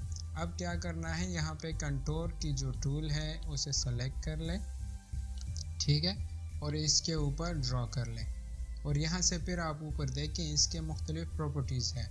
तो यह है इनसाइड और यह है आउटसाइड मैं आउटसाइड कर लेता हूँ तो इसकी जो स्टाइल है या जो इफ़ेक्ट है, वो चेंज होगा। यहाँ पे ऊपर कलर्स है, इसे आप कलर अलग देना चाहते हैं तो अलग भी दे सकते हैं। मैं यहाँ से फ्रंट वाला जो है, इसे रेड कर लेता हूँ तो पीछे हमारे पास क्या रहता है? ऑरेंज और येलो आप इसको और भी चेंज कर सकते हैं, ठीक है? इसने अगर इसे अगर आपने अलग करना है तो आपने यहाँ पे राइट क्लिक करके सेपरेट प्रेस करना है तो ये अलग हो जाएगा। आप देखें आप देखें टेक्स्ट जो है ये अलग है ऑरेंज कलर वाली अलग है और येलो अलग है। इसे आप अनग्रुप कर लें। इस ऑरेंज वाले को मैं कलर देता हूँ वाइट टेक्स्ट को ऊपर ले आता हूँ और पीछे ये जो येलो कलर की टेक्स्ट है, इसे मैं रेड कलर दे देता हूँ। तो आप देखें इसकी जो स्टाइल है या जो इफ़ेक्ट बन गई वो और भी ज़बरदस्त और मज़ेदार हो गई है। आप मुख्तलिफ़ किस्म की टेक्स्ट वगैरह पे ये वाला स्टाइल भी अप्लाई कर सकते हैं। अब है हमारे पास ये वाला डिस्टोर्शन टूल। डिस्टोर्शन टूल को हम ने शेप पे अप्लाई कर लिया था, दोबारा शेप पे अप्लाई करेंगे, लेकिन मुख्तलिफ़ प्रॉपर्टीज़ के साथ।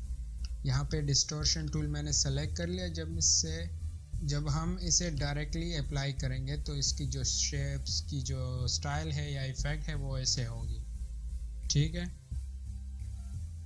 अब इसके अलावा इसकी जो और प्रॉपर्टीज़ है आप ऊपर देखें, यहाँ पे है, पहला वाला है पुश एंड पुल डिस्टोर्शन हमने पुश एंड पुल करना है, फिर है जिपर डिस्टोर्शन मैं जिपर डिस्टोर्शन अप्लाई कर लेता हूँ इस पे। पहले मैंने क्या करना है सिंपल स्ट्रेट रेक्टेंगल ड्रॉ करना है, ठीक है? अब इस पर मैंने क्या करना है? जिपर जो प्रॉपर्टी है, वो अप्लाई करना है। तो just click drag and drop तो आप देखिए, इसकी जो स्टाइल है, वो एक जिप किस्म की या जिगजैग बन गई, ठीक है?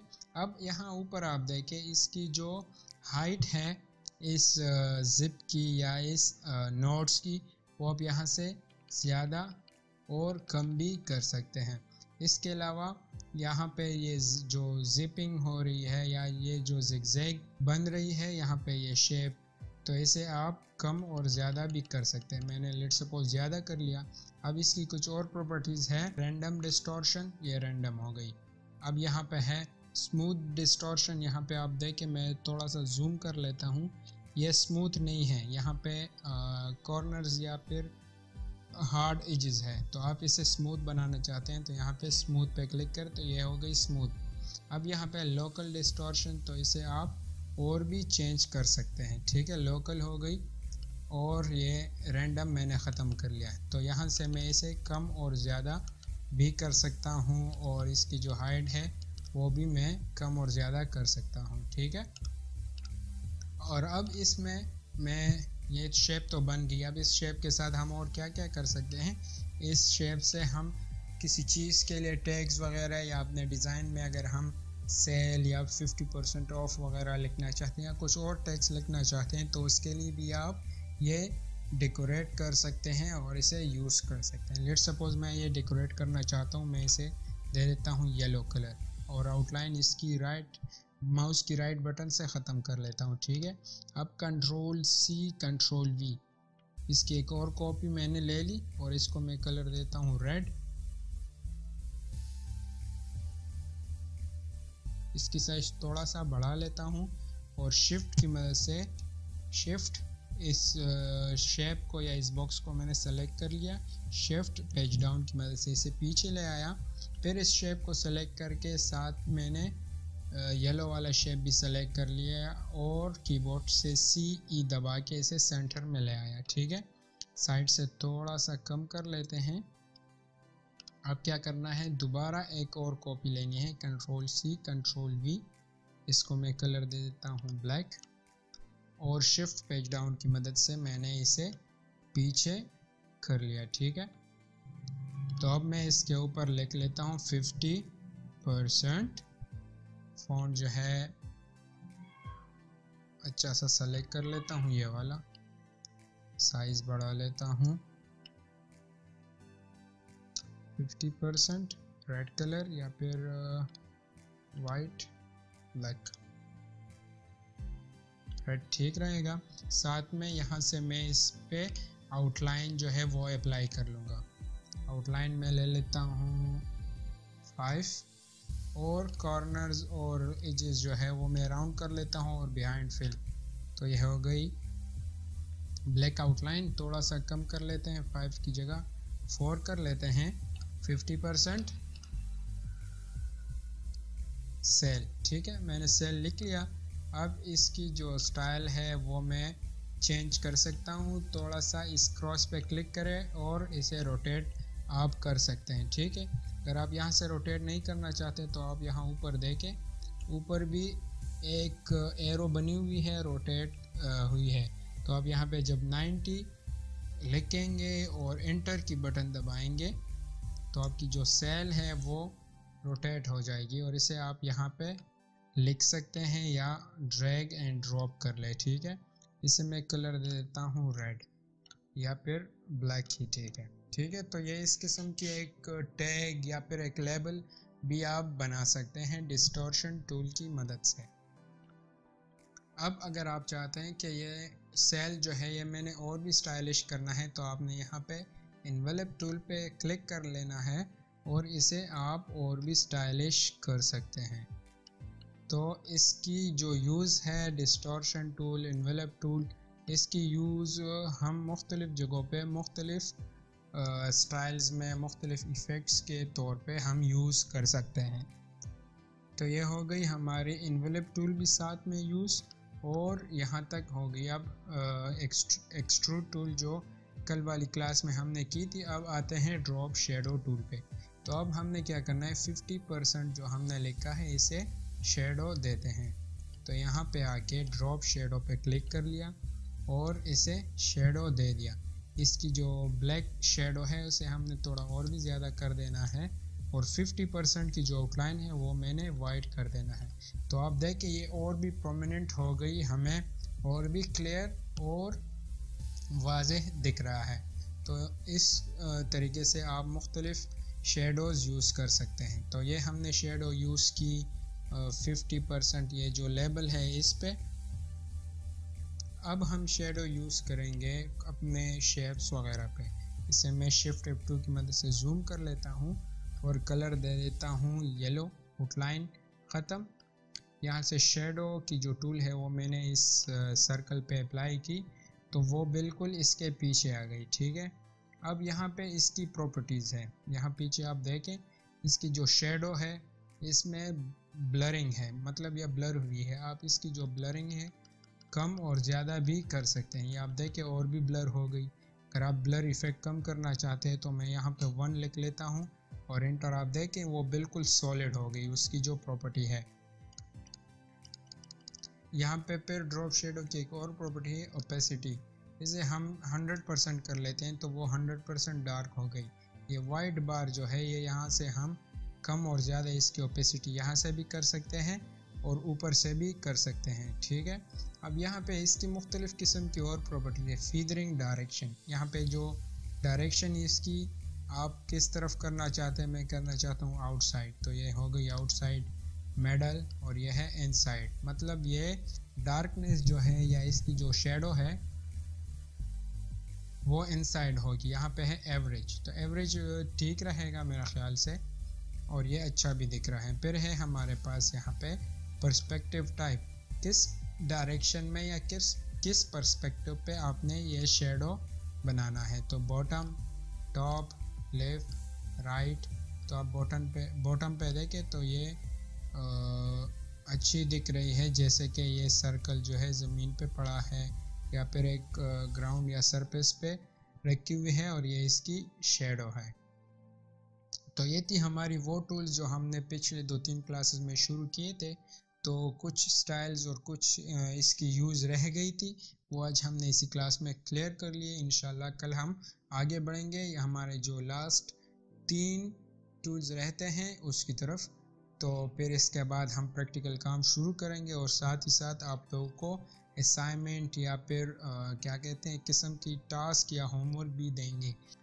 जो बंदे अपने टास्क या असाइनमेंट वगैरह को हमें ईमेल या व्हाट्सएप के थ्रू भिजवाएँगे तो कोर्स के एंड में एक्लिप्स डिज़ाइन की तरफ़ से उन्हें सर्टिफिकेट भी मिलेगा। तो हमारे पास जो लास्ट थ्री टूल्स रहते हैं, उनमें से पहला वाला जो है, उसे हम आई ड्रॉपर टूल कहते हैं और इसके साथ जो है पेंट बकेट टूल है। आई ड्रॉपर टूल से हम एक जगह से कलर पिक करते हैं और पेंट बकेट टूल से वो कलर हम शेप या टेक्स्ट वगैरह पे अप्लाई करते हैं।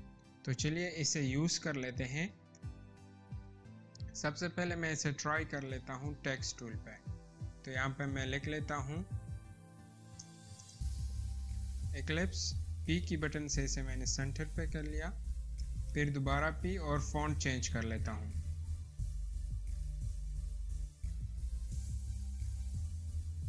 अब F4 की मदद से मैंने इसे जूम कर लिया। अब क्या करना है, किसी दूसरे इमेज या टेक्स्ट वगैरह से कलर कॉपी करके इस पर अप्लाई करना है।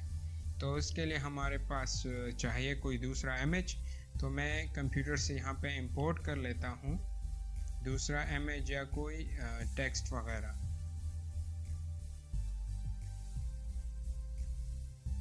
लेट सपोज़ ये इमेज मैंने इंपोर्ट की, इसकी साइज़ में फोर बटन प्रेस करके साइड से मैं इसे छोटा कर लेता हूँ, इसकी साइज़ कम कर लेता हूँ और इससे मैं इस टेक्स्ट पे कलर अप्लाई करूँगा, ठीक है?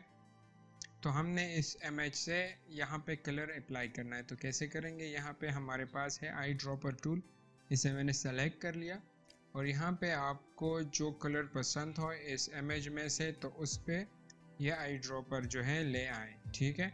तो मैंने यहाँ पे क्लिक कर लिया लेफ़्ट बटन माउस की। तो नीचे आप देखिए राइट साइड कॉर्नर पे बॉटम कॉर्नर पे, वही कलर यहाँ पे सेलेक्ट हो गई। अब मैंने क्या करना है, यहाँ पे दोबारा टूल्स में आके पेंट बकेट टूल जो है वो सेलेक्ट कर लेना है और यहाँ पे इसके ऊपर क्लिक करना है। तो वही कलर जो है यहाँ नीचे अप्लाई हो गई। अब अगर आप चाहते हैं कि मुझे दूसरा कलर अप्लाई करना है तो वही मेथड है आई ड्रॉपर टूल के ज़रिए कलर पैक करें और फिर दोबारा पेंट बकेट टूल सेलेक्ट करके उसे अपने शेप या टेक्स्ट वगैरह पे अप्लाई कर सकते हैं। ठीक है? तो ये थी हमारी पेंट बकेट टूल जो बहुत सिंपल और इजी है। इसके अलावा हमारे पास जो सेकंड लास्ट टूल है, वो हमने बार बार की है आउटलाइन टूल अपनी शेप को या टेक्स्ट वगैरह को आउटलाइन देना। तो हम यहाँ से इसे आउटलाइन दे सकते हैं। फिर यहाँ पे इसके लिए कलर स्कीम्स है और स्टाइल्स भी है। आउटलाइन की स्टाइल कैसी हो? तो मैंने इसे एक स्ट्रेट लाइन या सॉलिड लाइन सेलेक्ट की है। ओके तो ये हो गई सॉलिड लाइन मैं इसे शेप पे अप्लाई कर लेता हूँ तो आपको और भी क्लियर हो जाएगा। यहाँ पे मैं इसे कर लेता हूँ ब्लू F4 की मदद से जूम कर लेता हूँ और यहाँ पे इसकी आउटलाइन की जो शॉर्टकट की है, वो है F12 तो मैं F12 की मदद से आउटलाइन सेलेक्ट कर लेता हूँ और यहाँ पे मैं 5 विथ बिहाइंड फिल और राउंडेड इचेस वगैरह सेलेक्ट कर लिया और आप देखें तो ये हो गई हमारी सिलेक्शन आउटलाइन की। अब अगर आप चाहते हैं कि मैंने ये प्रॉपर्टी चेंज करना है तो इसे सेलेक्ट करें और यह ट्राई करना है कि ये कॉर्नर्स कैसे होते हैं। तो आप देखें कॉर्नर्स जो है, वो चेंज हो गई। दोबारा कर लेता हूँ, पहले राउंड कर लेता हूँ, या पहले जो है, हमारे पास बाय डिफ़ॉल्ट जो है, वो स्ट्रेट है, ठीक है? निप की जो स्टाइल है या शेप है, वो बिल्कुल स्ट्रेट है। हमने अब राउंडेड करने हैं तो यहाँ से हम राउंड कर सकते हैं कॉर्नर्स और लाइन केप्स को तो ये हो गई राउंड ठीक है? अब मैंने दोबारा ट्राई करना है लास्ट वाला जो स्टाइल है। यहाँ पे आप देखें कॉर्नर कॉर्नर्स वगैरह जो है या लाइनस्केप वो स्ट्रेट और कट है। तो यहाँ पे मैंने ये अप्लाई कर लिया तो इसकी जो स्ट्रोक है या आउटलाइन है उसकी स्टाइल और भी चेंज हो गई। अब यहाँ पे एक दूसरा ऑप्शन है, आप देखें स्टाइल के आउटलाइन की स्टाइल कैसी हो। यहाँ पे मुख्तलिफ़ किस्म के स्टाइल्स हैं हमारे पास। आपको जो पसंद हो, जो आपकी रिक्वायरमेंट्स के मुताबिक हो, या जो स्टाइल आप देना चाहते हैं, वहीं सेलेक्ट करें और ओके दबा दें। यहाँ पे मैं कर लेता हूँ ये वाला ओके दबा के आपको क्लियर हो जाएगा, ठीक है? जूम आउट हो गए तो ये इफ़ेक्ट या स्टाइल आपको अच्छी तरह दिखेगा। अब मैं दोबारा ट्राई कर लेता हूँ नीचे वाले पे। ठीक है, और यहाँ से मैं आउटलाइन चेंज कर लेता हूँ इस वाले पे स्टाइल पे, और ओके तो आप देखें, ये आउटलाइन जो है और भी चेंज हो गई. यहाँ पे ये मुख्तलिफ़ स्टाइल्स है, आप यूज़ कर सकते हैं. आपकी मर्ज़ी के मुताबिक आपकी चॉइस है कि कौन सा आउटलाइन आपको पसंद हो, वही आप यूज़ कर सकते हैं. मुख्तलिफ़ जगहों में हम ऐसे आउटलाइंस यूज़ करते हैं किसी बैनर्स में या फिर किसी लेबलिंग वगैरह में भी इसे यूज़ कर सकते हैं। फिर यहाँ पे है एडिट स्टाइल, कि आपने इस लाइन के बीच जो डिस्टेंस है वो कितनी रखनी है। ज़्यादा क्लोज रखनी है या फासला जो है इसके बीच वो ज़्यादा करना है तो आप यहाँ से इसे एडिट भी एडिट भी कर सकते हैं। फिर है हमारे पास एरोज़, ये मुख्तलिफ़ किस्म के एरोज़ वगैरह है। इसे मैं स्ट्रेट लाइन पे यूज़ कर लेता हूँ कि स्ट्रेट लाइन पे हम एरोज़ वगैरह कैसे यूज़ करते हैं। तो ये स्ट्रेट लाइन मैंने मैंने ड्रॉ कर लिया। अब यहाँ पे F12 की मदद से इसकी प्रॉपर्टी में आ गया। और यहाँ से मैं कर लेता हूँ थ्री विथ बिहाइंड फेल और सब कुछ जो है राउंडेड कर लूँगा। अब फिर दोबारा F12 इसे क्लिक करके F12 दबा लिया। और यहाँ से इसकी जो स्टाइल है वो मैंने चेंज कर लिया। ठीक है? एक एक स्टाइल अप्लाई कर रहा हूँ। अब दोबारा मैंने F12 प्रेस करके यहाँ पे एरोस की जो प्रॉपर्टीज़ है, वहाँ पे मैं आ गया। इस पे जो टेल है, उसे आप किस स्टाइल या किस डिज़ाइन में रखना चाहते हैं तो मैं रख लेता हूँ राउंड ठीक है? और हेड किस तरह हो तो वो हेड इस तरह हो एरो हो। तो वही स्टाइल और वही इफ़ेक्ट जो है, वो एरो स्टाइल की हो जाएगी। अब दोबारा अगर आपने चेंज करना है, बड़ा वाला रखना है, या फिर यहाँ पे पीछे जो स्टाइल्स है, वो चेंज करने हैं तो वो भी आप कर सकते हैं। इस लाइन को अगर आपने स्ट्रेट करना है तो इसे आप यहाँ से स्ट्रेट भी कर सकते हैं। बाज़ ऑप्शंस और बाज़ प्रॉपर्टीज़ ऐसी है कि हमने उसे किसी ख़ास जगह के लिए यूज़ करना है। लेट सपोज़ वो कौन सी प्रॉपर्टीज़ है? मैं यहाँ पे टू बिहाइंड फिल ओके ठीक है? लेट सपोज़ वो कौन सी प्रॉपर्टीज़ है जो हम खास, ख़ास पर्पस के लिए यूज़ करेंगे? लेट सपोज़ वो है ये वाला जो फ्लैग किस्म की है। इसे मैं सेलेक्ट करूँगा तो किसी जगह के लिए या मैप में किसी ख़ास जगह को रिप्रेजेंट करने के लिए हम इसे यूज़ करेंगे। लेट सपोज़ मैंने एग्ज़ाम्पल ले लिया, यहाँ पे एक मैप किस्म की या एक ग्लोब किस्म की सर्कल ड्रॉ की या एक मैप है लेट सपोज़ ये ये सर्कल जो मैंने ड्रॉ कर लिया, ये एक जगह की रिप्रेजेंटेशन के लिए है कि यहाँ पे कुछ ख़ास है। ठीक है? तो इसे मैं थोड़ा सा बढ़ा लेता हूँ आउटलाइन ख़त्म कर लेता हूँ और साथ में लिख लेता हूँ टारगेट या फिर गोल साथ में हम गोल लिख लेते हैं या फिर टारगेट लिख लेते हैं। तो इसकी एक ख़ास पर्पज़ होती है। बाज़ात हम किसी शेप को या किसी डायग्राम को या फिर किसी सिंबल्स को किसी खास पर्पज़ के लिए यूज़ करते हैं। फिर है हमारे पास जो लास्ट टूल है, उसमें हमारे पास तीन चार कैटेगरीज हैं। पहला वाला है फिल कलर डायलॉग दूसरा है fountain fill dialog pattern fill texture fill और यहाँ पे पोस्ट स्क्रिप्ट फिल ये पाँच जो स्टाइल है, ये हम मुख्तलिफ़ किस्म के शेप्स पे अप्लाई करेंगे। Control C control V control D से हमने डुप्लीकेट ले लिया, फिर कंट्रोल डी और फिर कंट्रोल डी ठीक है? हमने इस पे ये इफ़ेक्ट जो है अप्लाई करना है मुख्तलिफ़ स्टाइल्स यहाँ पे जो पहला वाला है फिल कलर डायलॉग इस पे जब मैं क्लिक करूँगा तो यहाँ मुझे ऐसी जो डायलॉग बॉक्स है वो शो हो जाएगी, जो कलर आपको पसंद हो। वो आप यहाँ से सेलेक्ट कर सकते हैं। ये साइड में बार्स है, मुख्तलिफ़ कलर्स आ जाते हैं। फिर उसकी मुख्तलिफ़ प्रॉपर्टीज़ या मुख्तलिफ़ कम्बिनेशन होती हैं। फिर यहाँ पे मैक्सचर्स है। आपने यहाँ से सेलेक्ट करना है या फिर यहाँ से, यहाँ पे है फिक्स्ड पैलेट्स यहाँ पे मुख्तलिफ़ किस्म की और कलर्स पैलेट्स है, फिर कस्टम पैलेट्स है। तो मैं सैंपल मॉडल से सेलेक्ट कर लेता हूँ, ये वाला कलर यहाँ पे पे अप्लाई हो गई। मतलब इसकी यह है कि हम यहाँ से जस्ट कलर्स जो है वो सेलेक्ट करते हैं, जो यहाँ पे नहीं है। राइट साइड पे हमारे पास जो कलर पैलेट्स है, आपको अगर उसमें कलर पसंद नहीं आया तो आप यहाँ से अपने लिए कलर बना सकते हैं और सेलेक्ट कर सकते हैं। फिर है हमारे पास जो, ये जो दूसरा ऑप्शन है, इसे फाउंटेन फिल डायलॉग कहते हैं। इसकी मदद से हम एक चीज़ में ग्रेडियंट कलर जो है वो अप्लाई कर सकते हैं। लेट सपोज़ मैंने यहाँ पे ये वाला कलर अप्लाई करना है तो यहाँ पे कलर ब्लेंड मतलब एक कलर से दूसरे कलर तक जाना या दोनों कलर्स कैसे हों तो वो मैंने सेलेक्ट कर लिया और यहाँ पे ओके की बटन जो है वो दबा दी, ठीक है? अब यहाँ पे इसकी कुछ और भी प्रॉपर्टीज़ है, आप ऊपर देखें टाइप लीनियर फिर है रेडियल साइड में आप देखें तो इसकी जो स्टाइल है वो चेंज हो रही है।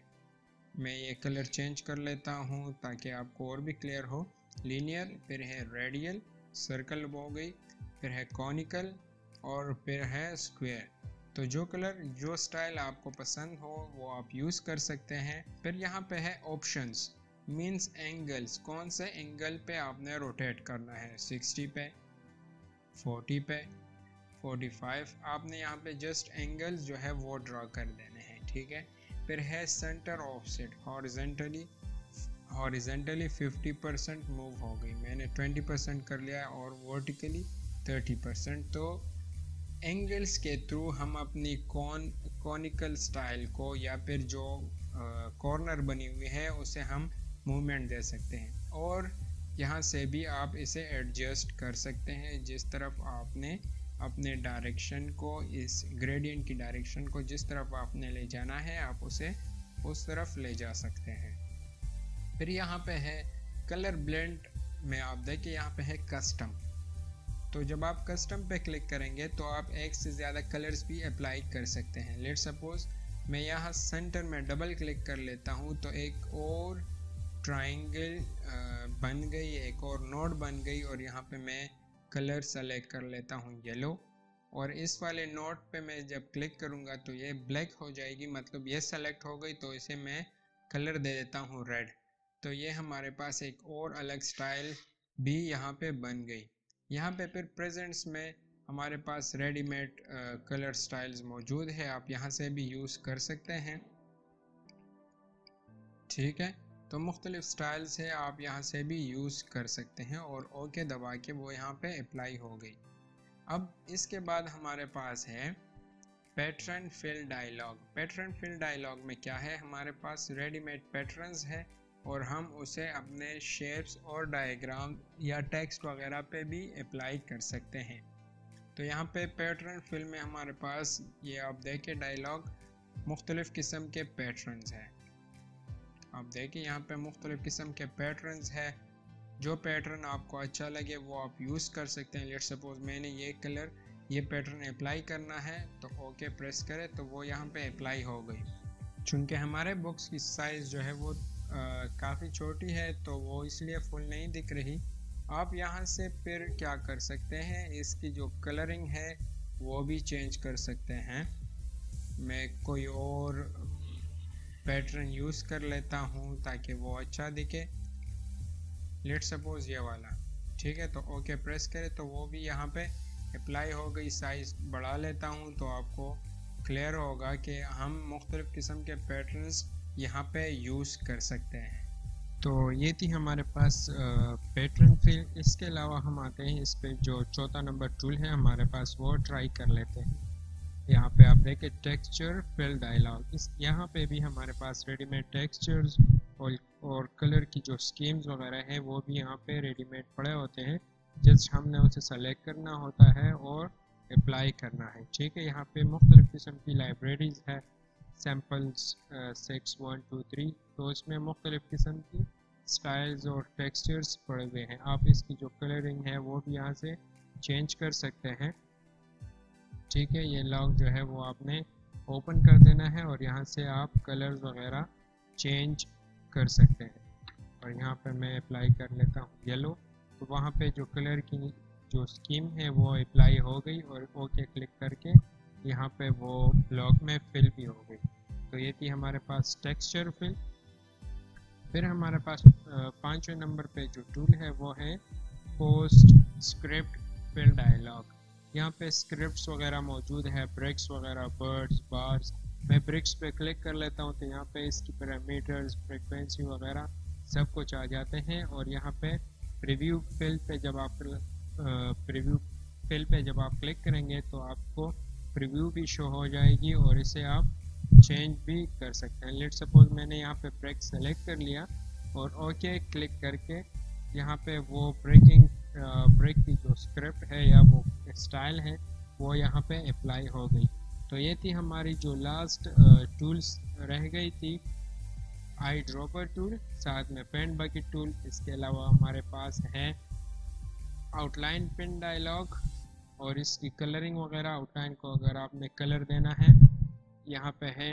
नो आउटलाइन आउटलाइन ख़त्म करना और ये यहाँ पे रेडीमेड वेट मौजूद है। आउटलाइन की वो आप यहाँ से दे सकते हैं। फिर है हमारे पास लास्ट वाला जो टूल है, वो है fill colour dialog fountain fill dialog ये जो इसमें सिंपल कलरिंग फिलिंग है, यहाँ पे ग्रेडियंट यहाँ पे हमारे पास पैटर्न्स है, यहाँ पे टेक्सचर्स मौजूद है और यहाँ पे स्क्रिप्ट्स है, जिसे हम अप्लाई कर सकते हैं। और फिर है नो फिल जब इस पर आप क्लिक करेंगे तो आप देखें ब्रेक वाले को वो ख़त्म हो जाएगा।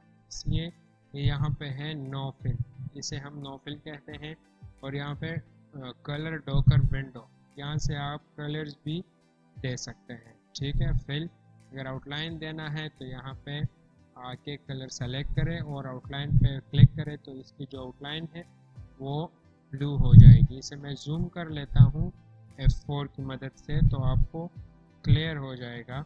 शिफ्ट F4 शिफ्ट F2 की मदद से मैंने इसे जूम कर लिया।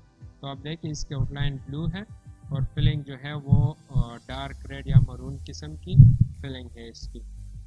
इनशाला कल से हम प्रैक्टिकल काम शुरू कर लेंगे। तो इस, उसमें आप लोगों को असाइनमेंट भी दिया जाएगा और और टास्क वगैरह भी आप लोगों को दिए जाएँगे। तो चलिए अपने क्लास की तरफ़ बढ़ते हैं। न्यू ग्राफिक या ब्लैंक डॉक्यूमेंट स्टार्ट कर लेते हैं और सबसे पहले हम ट्राई कर लेते हैं कुछ ऐसे कमांड्स जो यहाँ पे स्क्रीन पे आप लोगों को दिखाई नहीं दे रहे हैं, यहाँ मेन्यूज़ वगैरह में मौजूद है। लेकिन उसे हम अप्लाई करेंगे। सबसे पहले हम टेक्स्ट टूल वाले कमांड्स या फ़ंक्शंस ट्राई करते हैं। लेट सपोज़ मैंने यहाँ पे टाइप कर लिया इक्लिप्स डिज़ाइंस ठीक है? शिफ्ट F2 की मदद से इसे मैंने जूम कर लिया।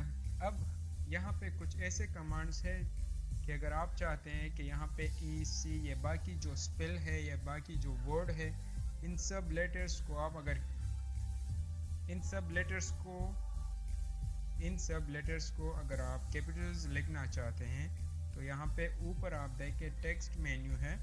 इसमें आके यहाँ पे है नीचे चेंज केस मतलब टेक्स्ट की जो केस है या फॉर्मेट है या स्टाइल है, उसे चेंज करना। तो आपने यहाँ पे सिंपली क्लिक कर लेना है। यहाँ पे फिर हमारे पास मुख्तलिफ़ केसेस हैं। सेंटेंस केस मीन्स सेंटेंस की जो स्टार्टिंग लेटर है, वो कैपिटल होगी।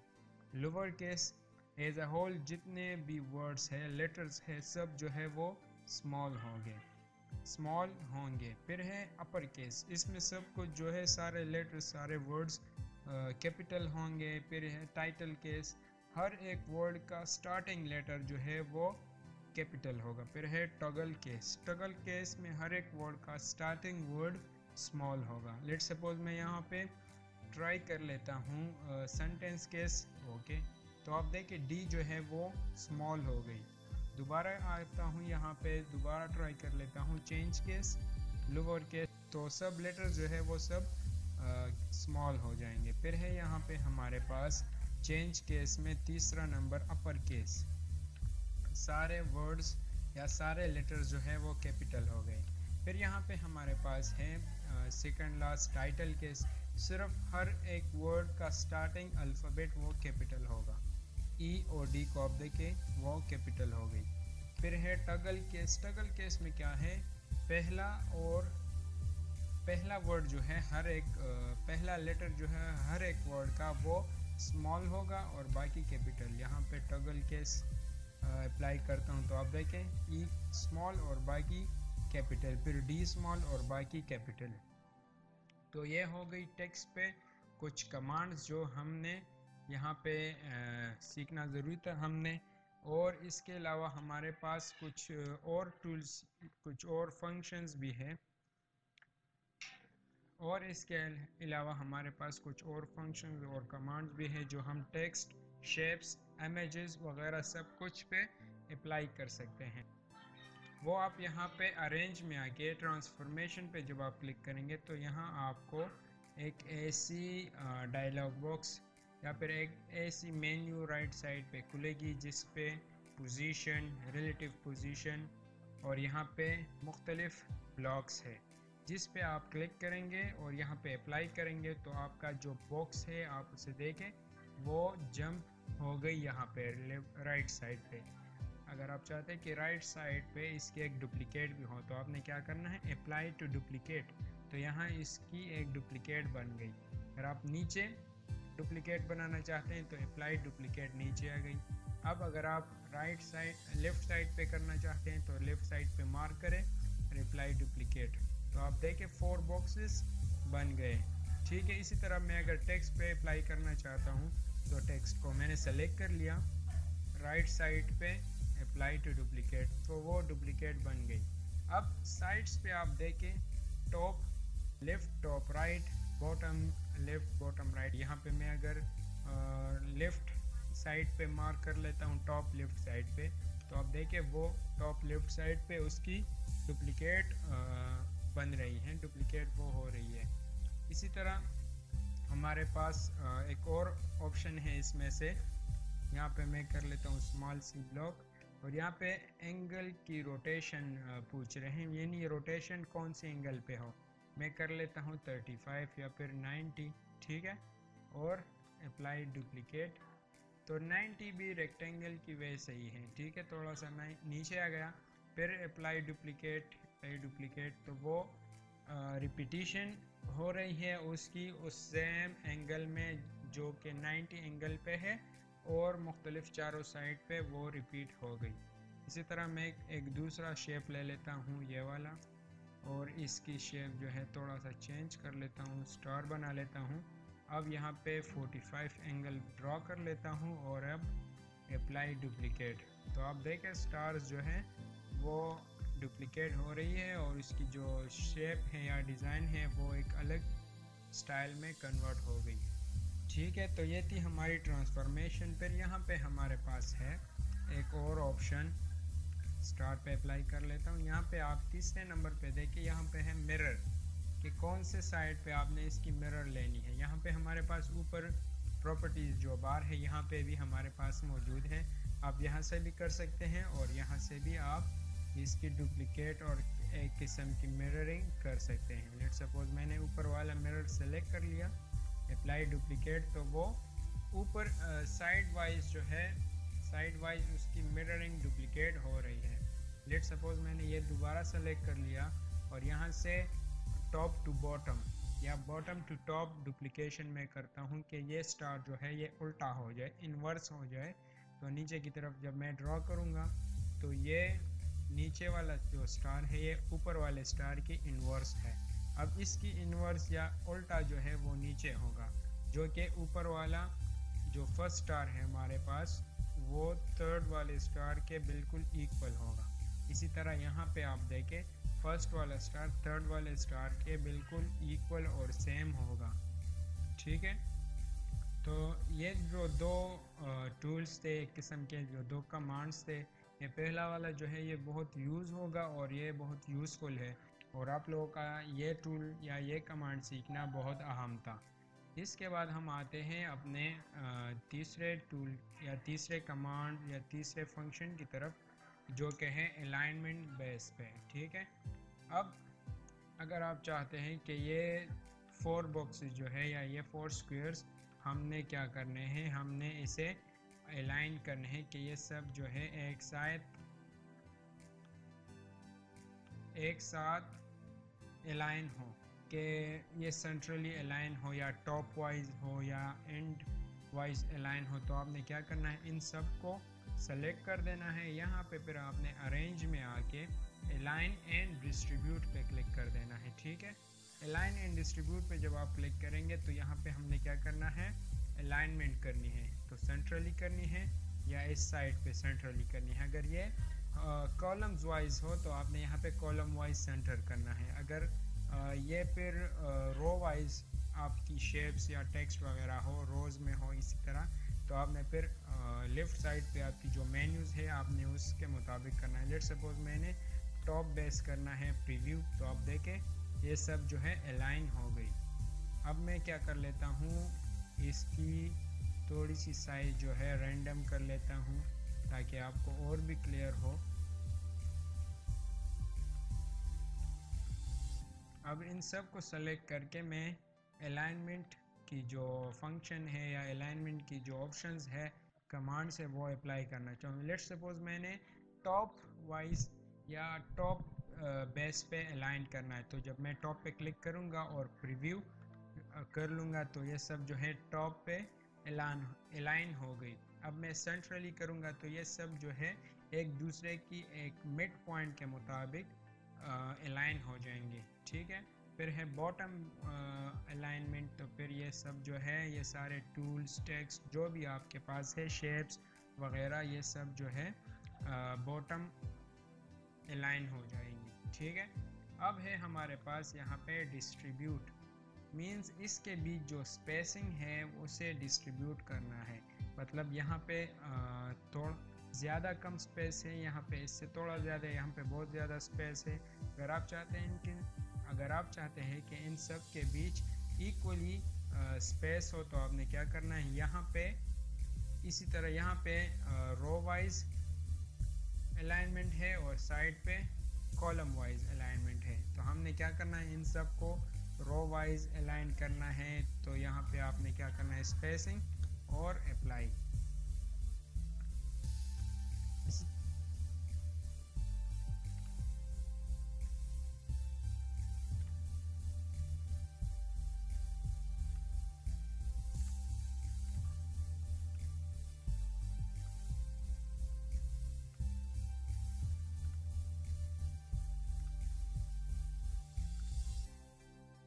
इसी तरह आप यहाँ पे देखें तो यहाँ पे है एक अलाइनमेंट की जो स्टाइल है लेफ़्ट सेंटर स्पेसिंग और राइट ये है कॉलम बेस और ये है रो बेस दो रोज के बीच आपने स्पेसिस जो है वो बरकरार रखनी है या इक्वल रखनी है और यहाँ पे दो कॉलम्स के बीच या दो शेप्स के बीच, दो टेक्सेस टेक्स्ट के बीच।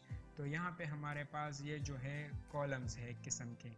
First box second third fourth fifth तो इनके बीच जो स्पेस है, आप देखिए यहाँ पे बहुत ज़्यादा कम है। यहाँ पे इनसे थोड़ा ज़्यादा यहाँ पे स्पेस जो है काफ़ी ज़्यादा है और यहाँ पे थोड़ा सा कम है। तो अगर आप चाहते हैं कि इन सब के बीच जो ये स्पेस है, ये इक्वल हो तो आपने यहाँ पे डिस्ट्रीब्यूट में आके यहाँ पे जो स्पेसिंग है, इसे क्लिक करके प्रीव्यू चेक कर ले तो आपको शो हो जाएगा कि ये सब जो बॉक्सेस हैं या ब्लॉक्स है ये इक्वली डिस्ट्रीब्यूट हो गई और ओके दबा दें। तो आपको इजी होगा कि अगर आप मुख्तलिफ़ शेप्स या ऑब्जेक्ट्स या कुछ डिज़ाइंस वगैरह बना रहे हैं और टेक्स दो टेक्सेस के दो टेक्स्ट के बीच या शेप्स के बीच या किसी विजिटिंग कार्ड या फिर बैनर वगैरह में अगर आप एक शेप बना रहे हैं या दो तीन शेप्स हैं या फिर इसके अलावा टेक्स्ट है और इनके बीच आप अगर स्पेस इक्वल रखना चाहते हैं तो आपने फिर ये कमांड्स यूज़ करने हैं, ठीक है? अब इसके अलावा हमारे पास एक बहुत पावरफुल या हम ऐसा भी कहते हैं, बहुत इम्पोर्टेंट टूल है, जिसे हम पावर क्लिप टूल कहते हैं या पावर क्लिप फ़ंक्शन कमांड कहते हैं, ठीक है? हम इसे किस लिए यूज़ करते हैं और कैसे यूज़ करेंगे? लेट सपोज़ यहाँ पे मैंने टाइप कर लिया ए ठीक है? साइज़ बढ़ा ली और पी प्रेस करके इसे पेज के सेंटर में ले आया, फिर बॉक्स को सेलेक्ट करके इसे भी पेज के सेंटर में ले आया, ठीक है? यहाँ पे मैंने इसे कलर दी ब्लैक और टेक्स्ट को कलर दी वाइट ठीक है? अब इस टेक्स्ट का बकिया हिस्सा जो है, मैं एक और शेप ड्रॉ कर लेता हूँ।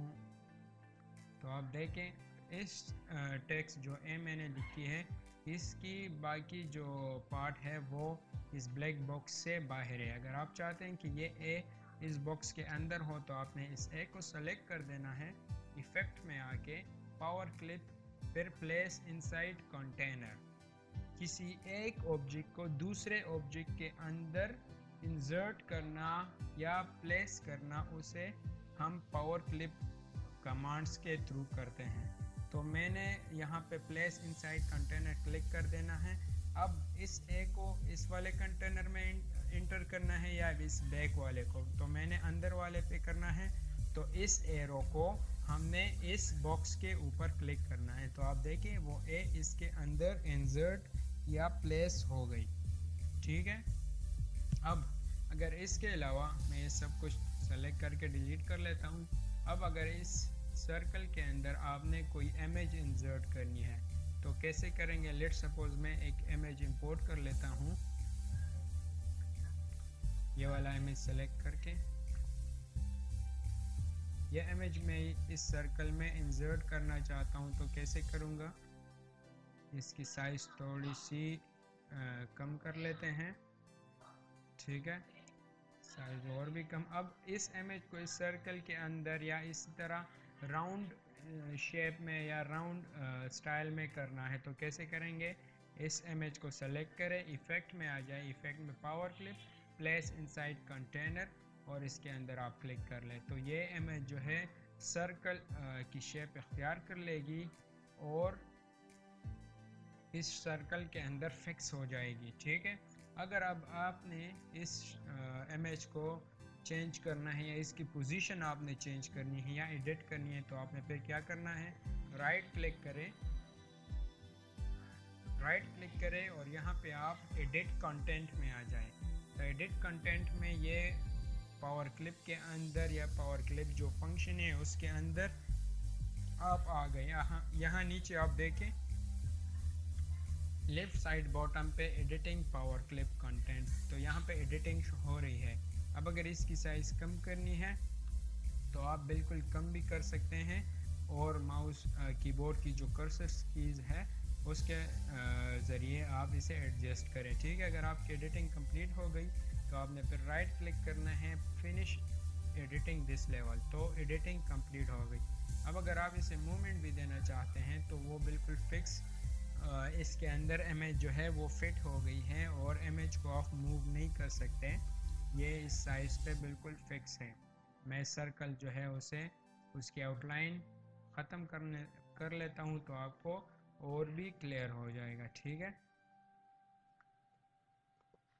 अब अगर आप चाहते हैं कि मैंने ये इमेज या इस शेप के अंदर कोई दूसरा शेप है या टेक्स्ट है, कोई शेप है आपके पास लेट सपोर उसके अंदर आपने टेक्स्ट को या इमेज को या दूसरे शेप्स वगैरह को पावर क्लिप कर लिया है। अब अगर आप उसे ख़त्म करना चाहते हैं, उस शेप्स या इमेजेस वगैरह को उस सर्कल या दूसरे शेप से निकालना चाहते हैं तो आपने क्या करना है? जस्ट राइट क्लिक करें। जस्ट राइट क्लिक करें और यहाँ पे ऊपर है एक्सट्रैक्ट कंटेंट्स इस पर जब आप क्लिक करेंगे तो ये इमेज जो है अलग हो जाएगा और ये सर्कल अलग। जो रिप्लेस करना चाहते हैं तो वो भी आप कर सकते हैं। अब अगर आप चाहते हैं कि आपने अपने कंप्यूटर से कुछ इमेजेस यहाँ पे इंपोर्ट करने हैं जेपीजी या पीएनजी फॉर्मेट में तो आपने क्या करना है? यहाँ ऊपर आप देखें, एक है इंपोर्ट और दूसरा है एक्सपोर्ट इसलिए हम यूज़ करते हैं कि आपके पास कोई डिज़ाइन है या फिर कोई शेप या टेक्स्ट वगैरह है और आप उसे जेपीजी या पीएनजी में कन्वर्ट करना चाहते हैं या पी जे पी फॉर्मेट में सेव करना चाहते हैं तो आपने फिर एक्सपोर्ट पे क्लिक कर देना है। अगर आपने इमेज वगैरह इस पेज के अंदर लाने हैं तो आपने कंट्रोल आई या फिर ये वाला आइकन दबा देना है। ठीक है, जब आप इसे दबाएँगे या क्लिक करेंगे तो आप अपने फ़ाइल की जो लोकेशन है, उस पर जाएँ और वहाँ से इमेज सेलेक्ट करें और इंपोर्ट पे क्लिक कर लें। तो आपकी जो इमेज है, वो यहाँ पे इंपोर्ट हो गई, ठीक है? अब इस इमेज को इस सर्कल के अंदर पावर क्लिप करना है तो कैसे इस इमेज को मैंने सेलेक्ट कर लिया? इफ़ेक्ट में आके power clip place inside container और इसे कंटेनर में फिक्स कर लिया। अब राइट क्लिक करके एडिट कंटेंट कर लेता हूँ, क्योंकि यहाँ पे साइड जो है वो वाइट है। तो मैं यहाँ पे एडिट कंटेंट कर लेता हूँ, इस शेप को थोड़ा सा लेफ़्ट साइड पे कर लेता हूँ और साइज़ बढ़ा लेता हूँ। और अब राइट क्लिक करके फिनिश एडिटिंग दिस लेवल तो आप देखें, वो इसके अंदर फिक्स हो गई। आउटलाइन ख़त्म कर लेता हूँ। अब मैंने तो यहाँ इम्पोर्टिंग की। बाहर से इमेज वगैरह को ड्रा में इंपोर्ट की। अब एक्सपोर्ट कैसे करेंगे? यहाँ पे मैं एक्सपोर्ट पे क्लिक कर लूँगा। डेस्कटॉप पे अगर आपने सेव करना है या फिर कहीं भी तो आपने यहाँ पे फ़ाइल की नेम जो है वो जस्ट टाइप कर लेना है। लेट सपोज़ सर्कल ठीक है? या पे यहाँ पे फिर है यहाँ पे फिर है फ़ाइल ऑफ़ टाइप तो कौन सा टाइप में आपने सेव करना है? J P G G I F B M P P S D Photoshop format और बहुत कुछ बहुत सारे फॉर्मेट्स यहाँ पे मौजूद है। पी एन जी भी मौजूद है। एनकेप्सुलेटेड पोर्ट स्क्रिप्ट अगर आपने इसमें सेव करना है तो क्वालिटी भी अच्छी होगी और आप एक्सपोर्ट भी कर सक इम्पोर्ट भी कर सकते हैं। इससे फिर इलस्ट्रेटर और फोटोशॉप में भी। और यहाँ पे भी पीएनजी भी हमारे पास अवेलेबल है। यहाँ पे आप देखें पीएनजी फॉर्मेट भी है। तो आप आ, जो फॉर्मेट आपको रिक्वायर्ड है या जो फॉर्मेट आपको चाहिए आप उसमें सेव कर सकते हैं। लेट सपोज़ मैंने पीएनजी फॉर्मेट सेलेक्ट कर ली। और यहाँ पे फिर कुछ और ऑप्शंस है। Select only no white space special character अगर आपके पेज में बहुत सारे और भी शेप्स हैं और आपने किसी एक शेप को सेलेक्ट करना है और उसे जेपीजी या पीएनजी में एक्सपोर्ट करना है तो आपने उसे सेलेक्ट करके यहाँ पे क्लिक कर ले सेलेक्टेड ओनली जो आपने सेलेक्ट किया है उसे जेपीजी में आ, क्या करना है एक्सपोर्ट करना है। तो आपने यहाँ पे सेलेक्टेड ओनली क्लिक कर लेना है और एक्सपोर्ट ठीक है? यहाँ पे फिर आपको कलर की जो टाइप है black and white grey scale sixteen colours paletted R G B R G B ठीक रहेगा। साइज़ जो है वन टू वन वो भी ठीक है। वेट और हाइट जो है, इसकी अपनी है और यहाँ पे रिजोल्यूशन है। जितनी ज़्यादा रिजोल्यूशन होगी तो उतनी क्वालिटी अच्छी होगी। तो 30 डी जो है, ये बेस्ट है। ओके क्लिक कर ले तो ये ओके, यहाँ पे दोबारा पीएनजी में आपको ये डायलॉग बॉक्स भी दिखेगा। तो आपने यहाँ पे भी ओके क्लिक कर लेना है। और डेस्कटॉप पे आके आपको ये वाला शेप जो है, ये वाला इलिप्स आपको मिल जाएगा। ठीक है? तो ये कुछ टूल्स ये कुछ फ़ंक्शंस वगैरह थे, कुछ ऐसे टूल्स कुछ ऐसे कमांड्स थे जिसे आपको सिखाना बहुत ज़रूरी था, क्योंकि आने वाले प्रैक्टिकल क्लासेस में ये हम यूज़ करेंगे ताकि आपको पता हो। अब अगर आपने ये वाला फ़ाइल कोड रॉ की फॉर्मेट में सेव करना है तो जस्ट आपने यहाँ पे सेव की जो आइकन है, उस पर क्लिक कर ले या कंट्रोल एस दबा दें। तो इसकी जो फॉर्मेट है, वो सीडीआर है। तो ये सीडीआर में सेव होगी। फ़ाइल की नेम नाम दे दे फ़ाइल की नेम फिर यहाँ नीचे type C D R C D T Illustrator बहुत सारे फॉर्मेट्स हैं। लेकिन by default C D R होगी।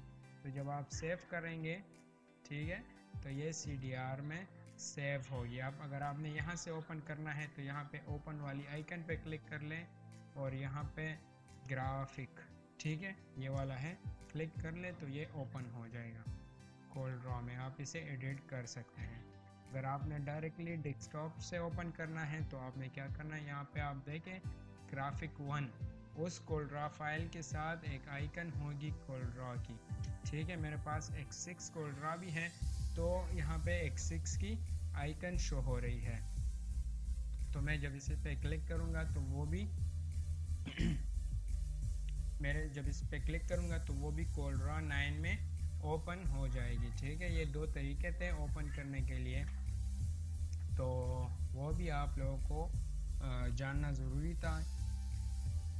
तो आज हमने कौन कौन से कमांड किए अलाइनमेंट की, इसके अलावा ट्रांसफॉर्मेशन की कॉपी करना, एक ऑब्जेक्ट को डुप्लिकेट करना, यहाँ पे आप देखें अरेंज के अंदर ट्रांसफॉर्मेशन उसे डुप्लिकेट करना डुप्लिकेट डुप्लिकेट अगर आपने राइट साइड पे लेफ़्ट साइड पे करना है तो डुप्लिकेट नीचे करना है बॉटम पे तो डुप्लिकेट अगर आपने एक्स एक्सेस पे या क्रॉस डुप्लीकेशन करनी है तो क्रॉस भी होगी, ठीक है?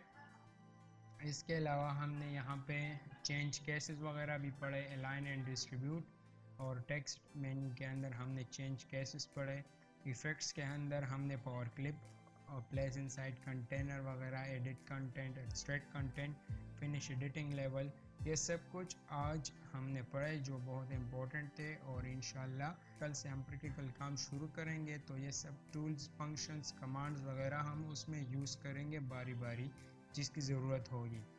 उम्मीद है आप लोगों को यहाँ तक सब कुछ जो है समझ आ गया होगा। अगर आपके जहन में क्वेश्चंस है या किसी चीज़ की समझ नहीं आ रही तो बिल्कुल आप कमेंट सेक्शन में भी पूछ सकते हैं और थ्रू ईमेल या फिर व्हाट्सएप ग्रुप के ज़रिए भी आप ज्वाइन कर सकते हैं। आज के लिए इतना ही। काफ़ी है। कल तक इजाज़त दीजिए। अल्लाह हाफिज़। अगर आपने अभी तक हमारे चैनल सब्सक्राइब नहीं किया तो हमारे चैनल सब्सक्राइब करें और बेल आइकन दबाएँ, ताकि आने वाले वीडियोस की नोटिफिकेशन आपको मिलती रहे।